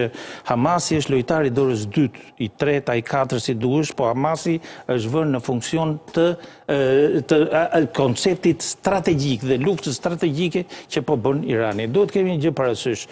Së pari do të them edhe 50 jo thashë edhe 50 vjet përpara është e njëjta situatë ka dështuar dështoi shërbimi sekret të gjitha të zbulimit të ushtrisë të gjitha ashtu ndodhi edhe kësaj unë mendoj këtë gjë Duhet të kemi parasysh edhe gjithë kontekstin historik të marrëdhënieve midis Izraelit dhe Iranit. Mbas Revolucionit Islamik, gjithmonë në kulmin e krizës së përplasjeve ndërkombëtare me Iranin, i cili po përpiqej dhe po përpiqet të krijonte bombën atomike, Izraeli ka thënë vetë ose është shprehur vetëm me fjali, domethënë ka kërcënuar që do godasë me avion centralet atomike ku përgatitet qendrat ku përgatiten bombat atomike ose ku punohet. Pra, Edhe në konceptin strategjik, Irani dhe Izraeli kanë qenë në luftë me njëri-tjetrin. Ajo që është, është fakt është që nuk kanë kufi midis tyre. Duhet kemi një gjë parasysh që kjo nuk është luftë fetare, Pavarësisht, a, a as luftë kombëtare, sepse në fakt, nga të gjithë analistët thuhet që të paktën sot, në kushtet e sotme, Hamasi nuk kishte asnjë arsye të sulmonte Izraelin. Po, jua thashë që Blinken i ka tërhequr vëmendjen qeverisë izraelite sepse kolonë izraelitë shkojnë dhe falen afër zonave të cilat janë zona fetare të, të këtyre të institucioneve fetare të, të palestinezëve dhe që vetë shteti izraelit ka ligje për të mos t'i lejuar, po, por nga ana tjetër ka dhe një element tjetër, që qeveria e sotme e Netanyahut për shkak të asaj konfiguracionit elektoral që doli mbas zgjedhjeve, ka qenë e detyruar dhe është e detyruar qeverisi me dy parti ultrakonservatore që në programin e tyre kanë edhe janë anti-arabe, pavarësisht se arabët në Izrael kanë partinë e tyre dhe përfaqësohen parlament. Dhe unë mendoj që Ishte shërbim iranian që ka përgatitur këtë që ndodhi dhe janë përdorur resurset njerëzore të Hamazit për ta realizuar, se tek e fundit, përveç raketave që i hidhnin her pas here, disa qindra palestinezë të Hamazit sulmuan, u futën dhe sulmuan në një largësi prej disa kilometrash. Pra, mendoj që shërbimi dështoi sepse nuk e organizoi në kuptimin kryesor Hamasi, por e ka organizuar Irani duke përdorur të gjitha resurset e Hamasit. Dhe prandaj mendoj që mund t'i ketë rrëshqitur shërbimit. Plus kemi parasysh edhe gjendjen në terren, domethënë këto Kjo fryma e paqes që po mbizotëronte e marrëveshjeve të Izraelit me vendet arabe që ka ulur natyrisht duhet të ketë ulur edhe vigjilencën. Ndoshta. Zoti Milo, a ishte në proporcionalitet përgjigja e Izraelit ndaj sulmit të së shtunës? Jo, Izraeli mori shkas nga sulmi i Hamasit dhe ai nuk do ta ruajë proporcionalitetin, përkundrazi, nisur nga deklaratat e Netanyahut, ai dha të kuptojë që do bëjë një luftë shumë të ashpër dhe do të arrijë, domethënë, ai e tha që do të shikoni se ç'ka për të ndodhur. Ne do të ndryshojmë gjendjen në Lindjen e Mesme. Pra nuk foli vetëm për të eliminuar Hamasin, po foli edhe për ndryshime shumë më të gjëra që nënkuptojnë që do të ketë një politikë shumë të ashpër të cilën ne me siguri do ta shohim gjatë ditëve në vijim. Një pyetje, do ta lejojnë Shtetet e Bashkuara të Amerikës? Shtetet e Bashkuara të Amerikës... Izraelin, për të bërë Izraelin. Po.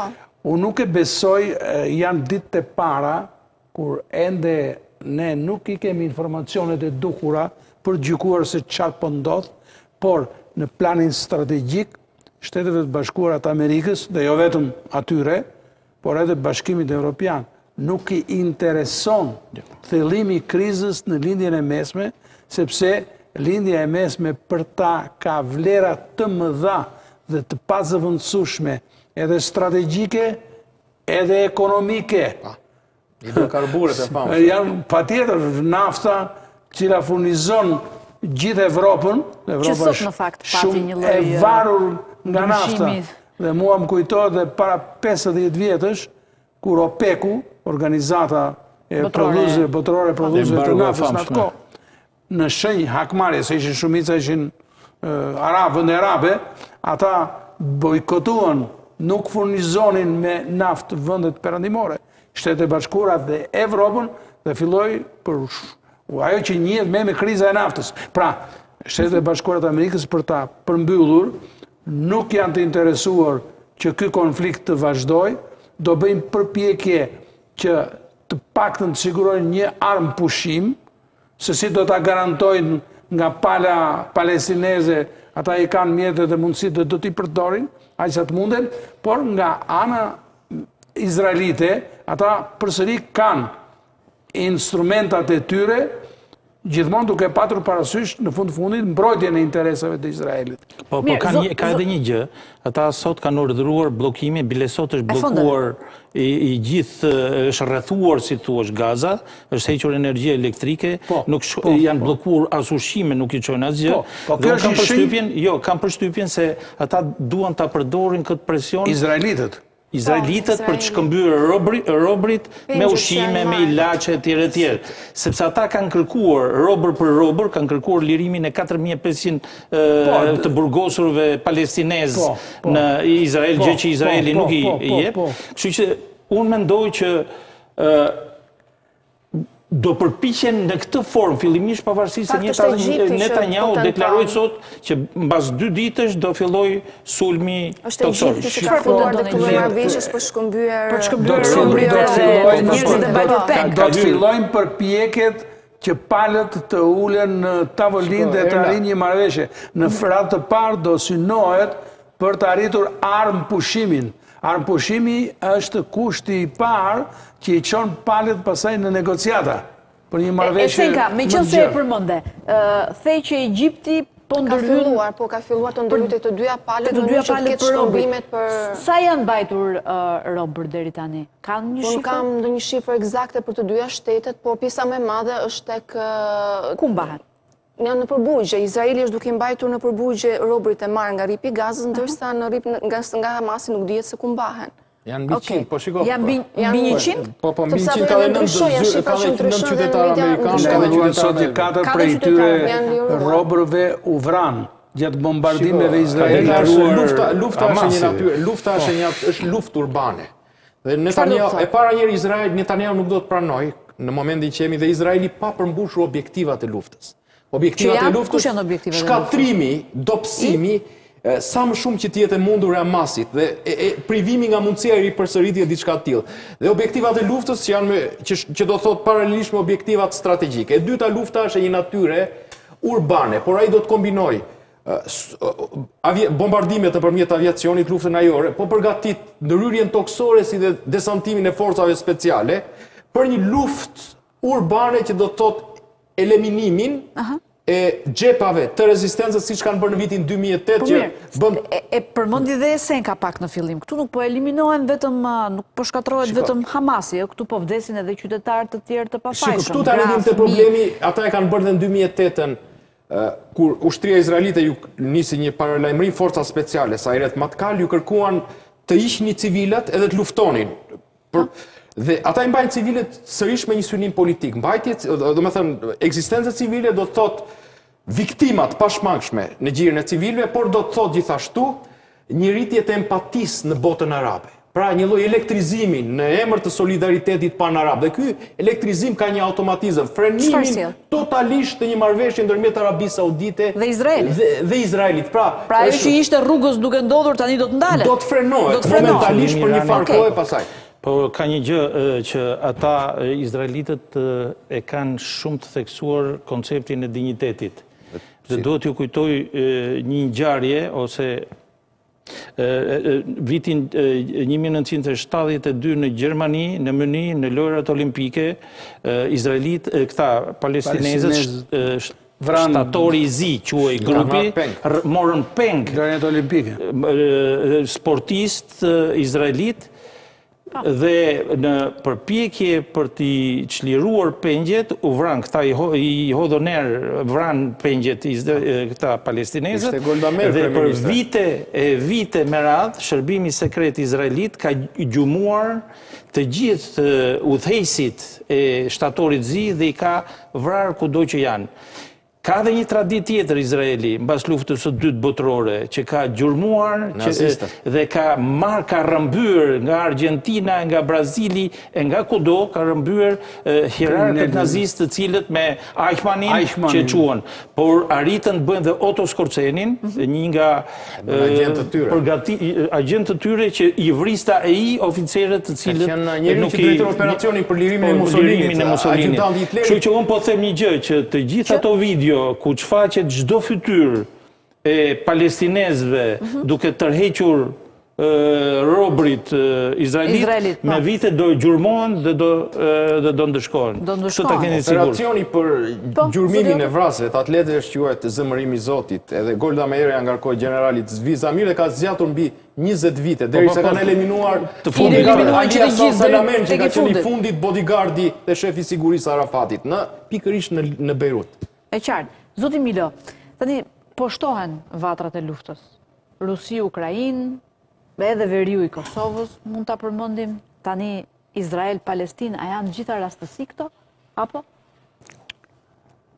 Tani në konjunkturën ndërkombëtare ka një lidhje në mos direkte, mhm. por edhe indirekte përmes veprimit të faktorëve të ndryshëm në rajone të caktuara, që gjenerohen nga një konflikt bazë, nga një konflikt që mund ta quash konflikti mëmë, Lufta në Ukrainë, agresioni i Rusisë kundër Ukrainës, ne mund ta konsiderojmë tash si një konflikt mëmë prej të cilit burojnë shumë konflikte të tjera ose rritje tensionesh të cilat mund të degjenerojnë në konflikte të armatosura.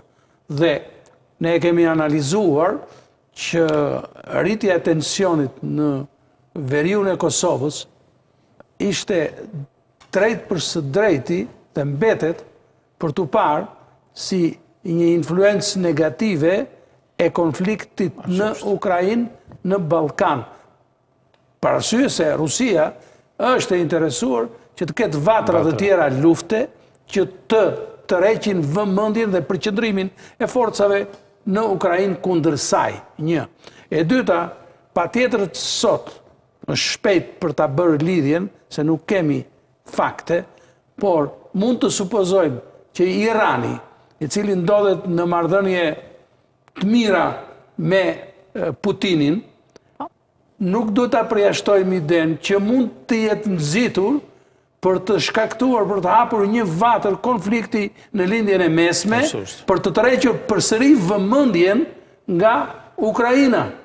Dhe Irani si aleat i Rusisë, mund ta quajmë aleat i Rusisë, është, përmes Hamasit provokon një konflikt të tillë. Që, fo, që fondet e Kongresit Amerikan të shkojnë në Izrael, po, mos shkojnë në Ukrainë. Po, po pra, po, e që fondet paratë armatimet një minutë. Po, dhe akoma po. më shumë ne mund të asistojmë në provokime të tjera të mëdha, Se duke u nxehur vatrat e zjarrit, mhm. mundet gjithashtu, siç thashë, të krijojë një efekt domino dhe mund të shkojë dhe në rajone të tjera.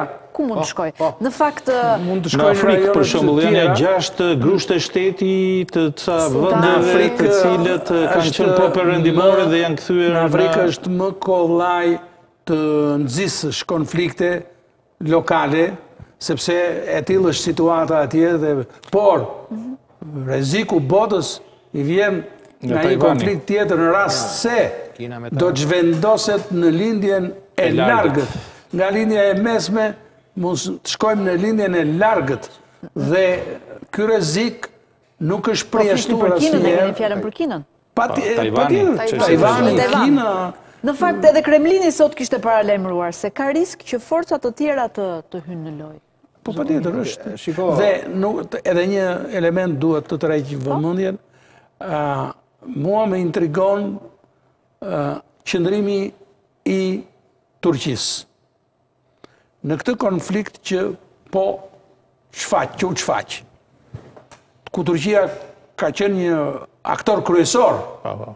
në zhvillimet në lindjen e mesme, edhe në konfliktet, ka mbajtur anën e njërit apo të tjetrit, tani Turqia është vënë në një pozitë shumë të vështirë, Nga njëra anë, ajo kauzën palestineze e ka mbrojtur vazhdimisht, madje dhe ka mbajtë qëndrime të forta ndaj atyre vendeve që kanë bërë kompromis me Izraelin për ndonjë marrëveshje të caktuar në një kohë të caktuar, ndërkohë që tani Turqia për mendimin tim duke qenë njëkohësisht edhe në marrëdhënie të mira edhe me Rusinë, Është në një pozicion shumë delikat për të mbajtur qëndrim. Çfarë qëndrimi do mbajë Turqia sot? Do të mbështesë në parim palestinezët, se është bërë dhe mbledhja e ministrave të punëve të jashtme të Lidhjes Arabe, që po. nuk e dimë akoma se çfarë vendimi ka marrë, të paktën unë nuk e di deri në këtë moment, Se çfarë vendimi ka marrë? Ato vendimet e 70-ës nuk merren, ta kesh të sigurt. Pra, i është hedhur verës ujë, tani. A, jemi dakord? Pa, po, po. Kështu që edhe këto vendet e tjera arabe nuk janë më kaq militante për të mbështetur çështjen palestineze. Dhe pikërisht këtu vjen ky moment që ne presim zhvillime të tjera, në rajon, por nuk përjashtohet, po, po e përsëris edhe një herë, që të nxisen, të nxiten konflikte të tjera, ose rritje po. tensionesh në zona të caktuara të botës. E rëza ka që një të tip parë në 10 vjeçarin e fundit të shekullit 20, ne kujtuam, krijuam perceptimin se kishim bënim me një botë post-ideologike. Në dekadën e parë të shekullit 21 patëm një rritje të asaj që quhet sfida e rajonalit përkundrejt globalit. Filluan të ngrihen të ngriheshin siparet e rivaliteteve në rajone të ndryshme të botës dhe kjo gradualisht filloi filloi dhe të pengonte mundësinë e krijimit të një ekuilibri global. Lufta në Ukrainë po. i përforcoi këto tendenca.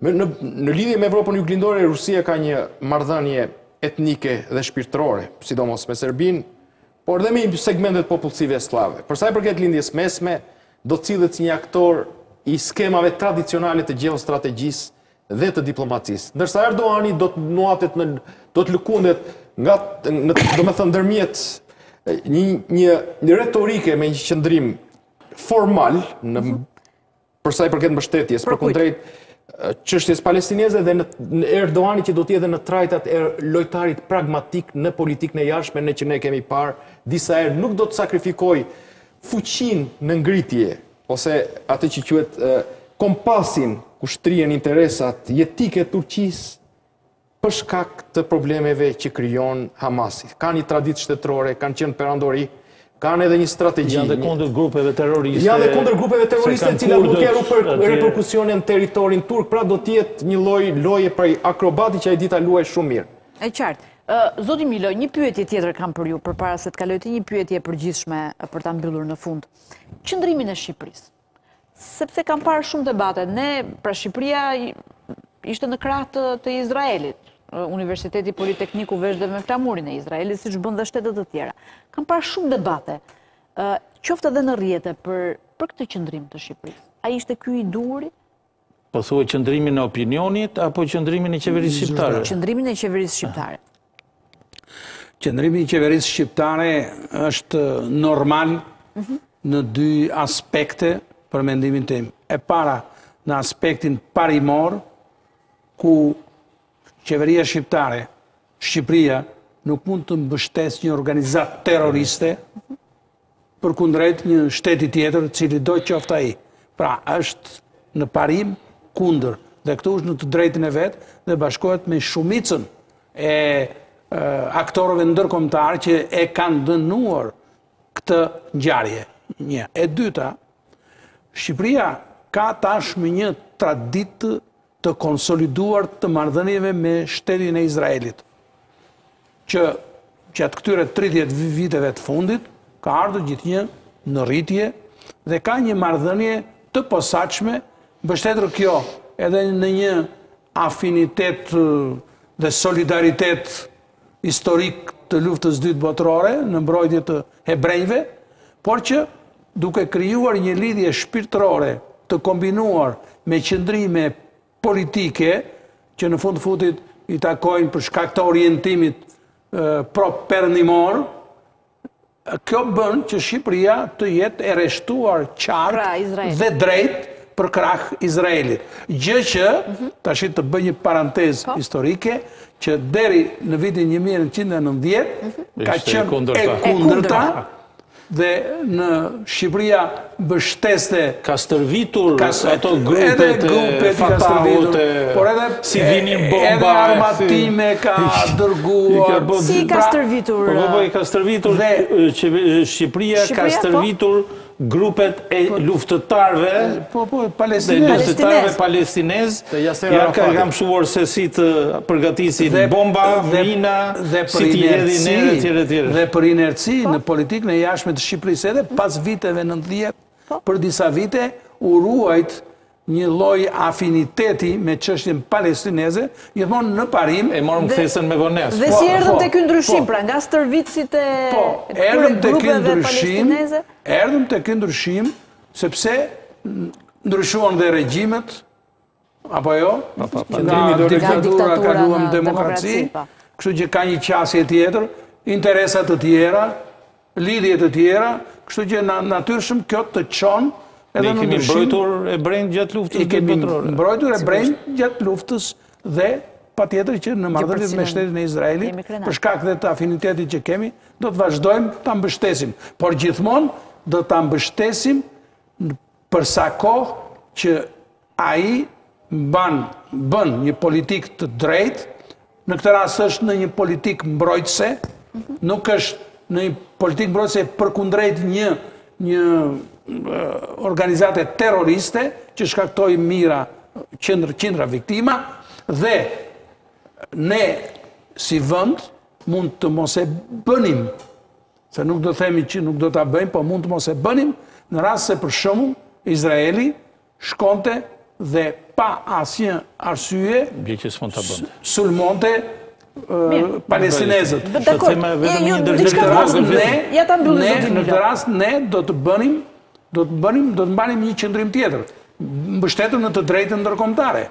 Ashtu siç do ta bënin edhe vendet e tjera demokratike. Mos harrojmë edhe votimet votimet në organizatën e në asamblenë e përgjithshme të kombeve të bashkuara. Ne s'kemi qenë s'kemi qenë konsekuentë si Shqipëri.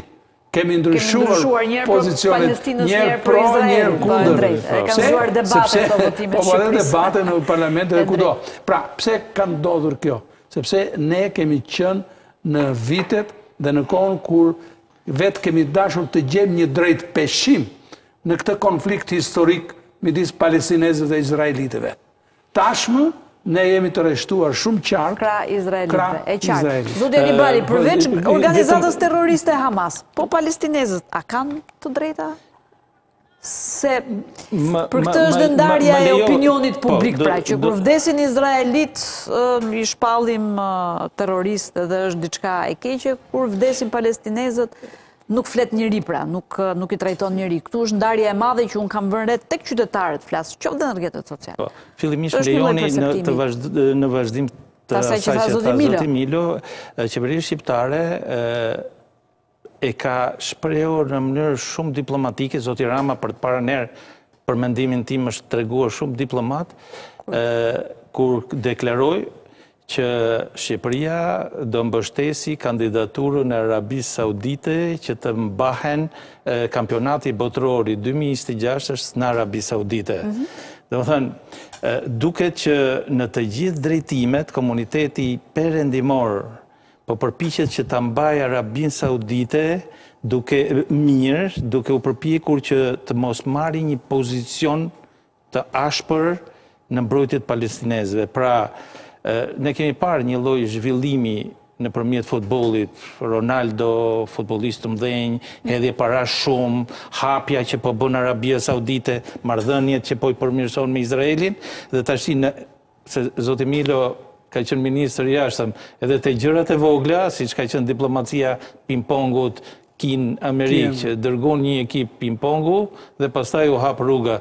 Kështu që mendoj që qeveria shqiptare është treguar shumë diplomatike dhe tek e fundit ka dhënë një kontribut për zbutjen e situatës. Për sa i përket asaj, po, patjetër, e drejta e popullit izraelit për të ekzistuar dhe për të pasur shtetin e vet është e padiskutueshme dhe kjo është përcaktuar në Marrëveshjen e Oslos të vitit një mijë e nëntëqind e nëntëdhjetë e pesë. Vetëm se ka një element, po të shohësh hartën, kemi autoritet palestinez, që kemi West Bankun, domethënë bregun perëndimor, dhe Hamasin që janë në distancë duke pasur Izraelin në mes. Po. Ka pasur, domethënë, në bazë të marrëveshjeve që janë bërë, që të ketë dy rrugë komunikimi, që të lëvizin nga një cep në cepin tjetër, domethënë nga një pjesë në pjesën tjetër, por nuk është rënë dakord dhe herë pas here qeveri të ndryshme të Izraelit për hir të së vërtetës kanë nxitur kolonë izraelitë për t'u futur në ato territore që është caktuar për të qenë i shtetit të Izraelit. Pra, në parim Izraeli është dakord që të ketë një shtet palestinez, por nuk bie dakord në detaje. Nga ana tjetër, në vitin 2006 po. Hamasi ka bërë grusht shteti, më fal, Fitoi zgjedhjet, Hamasi fitoi zgjedhjet në territorin palestinez. Por bëri mbas fitimit të të të zgjedhjeve, bëri grusht shteti duke pushtuar me grupin e vet mhm. ripin e Gazës dhe duke përzënë forcat e rendit që vinin nga Fatahu, Al Fatahu. Dhe në këtë aspekt, historikisht, që prej atëherë, marrëdhëniet midis kësaj pjese Rripit të Gazës dhe pjesës tjetër që është një popullsi me 5 milionë banorë atje, me një sipërfaqe 5-6 herë më të madhe sesa e Rripit të Gazës, pra presidenti është atje, që është Mahmud Abazi, dhe Ky autoritet i Hamasit nuk pyet fare s'do të dijë fare për për autoritetin palestinez. Nuk e njeh presidentin, megjithëse është votuar dhe zgjedhur edhe nga qytetarët palestinezë që jetojnë në Gaza. Në këtë aspekt, i gjithë ky proces, i gjithë ky proces i formësimit të shtetit palestinez është bllokuar dhe prandaj Erdogani, kur bëri deklaratën, deklaroi që zgjidhje në tavolinë, së pari ndalimi i i i zjarrit, zgjidhje paqësore në tavolinë dhe jemi për dy shtetet, për po, për për politikën e dy shteti, dy shteteve.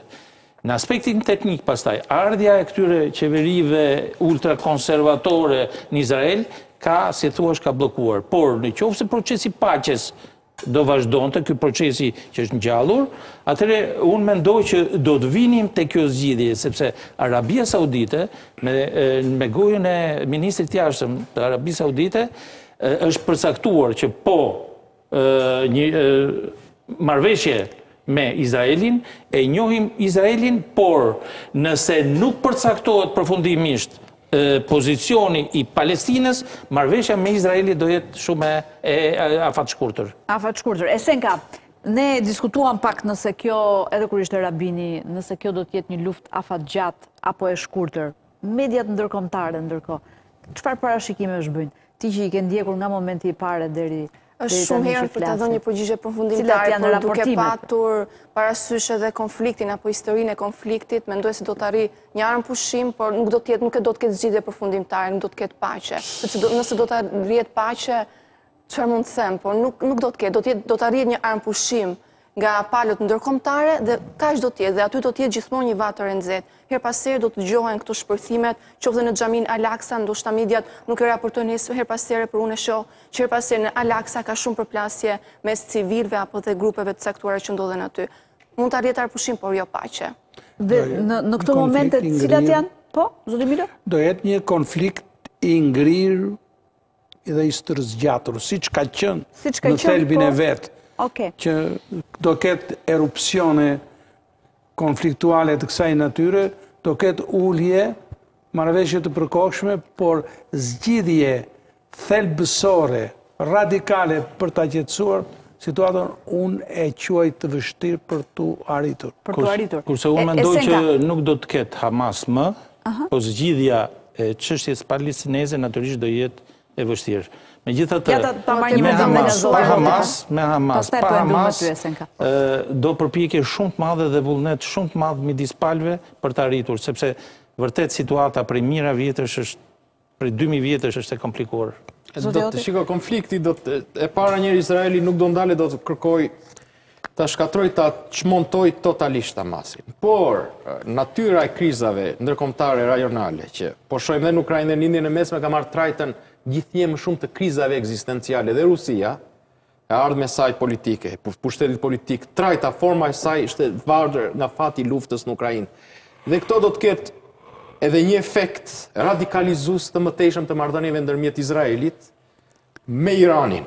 kryesisht si fuqi revizioniste si dhe qëndrimeve të Shteteve të Bashkuara po përkundrejt Iranit në dritën e konkluzioneve që do dalin nga nga nga hetimet, investigimet në lidhje me rastin e sulmit të Hamasit. Ne po jetojmë në një botë të rikthimit të ideologjisë në politikën e jashtme, por që bëhet gjithnjë më shumë më e rrezikshme si rrjedhojë e botës teknologjike ose inteligjencës artificiale që po jetojmë do kemi Radikalizim të marrëdhënieve ndërkombëtare në Lindjen e Mesme dhe radikalizim dhe një përkeqësim të marrëdhënieve ndërkombëtare në në veriun e Europës. Pra do të ketë xhepa që do të jenë konsistentë, që do ta dëmtojnë, frenojnë atë ndërtimin e një harmonie ndërkombëtare. Harmonie ndërkombëtare. Senka, cilat janë informacionet më të fundit që vijnë nga Fronti i luftës. Nga fronti i luftës vazhdojnë që viktimat të shtohen nga të dyja palët, qoftë nga rripi i Gazës, qoftë edhe nga qoftë edhe nga Izraeli. Sa është në total 1300? 1100, 1300, sepse janë shifra të cilat ndryshojnë herë pas here dhe janë raportime që ndryshojnë. Lajmi i fundit ishte fakti që Ministria e Mbrojtjes Izraelite bëri me dije që rripi i Gazës është marrë peng në një farë mënyrë duke mos u mos u furnizuar me ushqime me energji elektrike kjo pjesë kjo pjesë e rripit të Gazës Këto janë informacionet më të fundit, pastaj të tjerat janë... Dhe që kjo po bëhet, siç e thatë ju, për të për të shkëmbyrë robrit me... Për të shkëmbyrë, ndoshta për të fituar edhe kohën, por në raportime të ndryshme vazhdojnë të dëgjohen edhe sirenat e alarmit në Izrael dhe qytetarët herë pas here janë ata të cilët zhvendosen në ato zonat e sigurisë për t'i shpëtuar. apo dhe sulmeve raketore që vijnë nga Hamasi. Okej, e qartë. Gjithsesi ne këtu do të jemi për të raportuar hap pas hapi se çfarë do të ndodhë minutë pas minute, po. Megjithatë këtë e kemi të qartë që do të jetë një luftë e gjatë dhe nuk do të përfundojë, nuk do të jetë e shkurtër pra.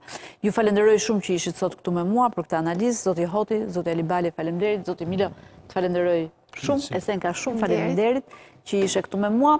Ndiqni Franco Egron me Balkan Talks pas emisionit Now, bashkë do të takohemi sërish nesër në orën 21 si gjithmonë. Natën e mirë.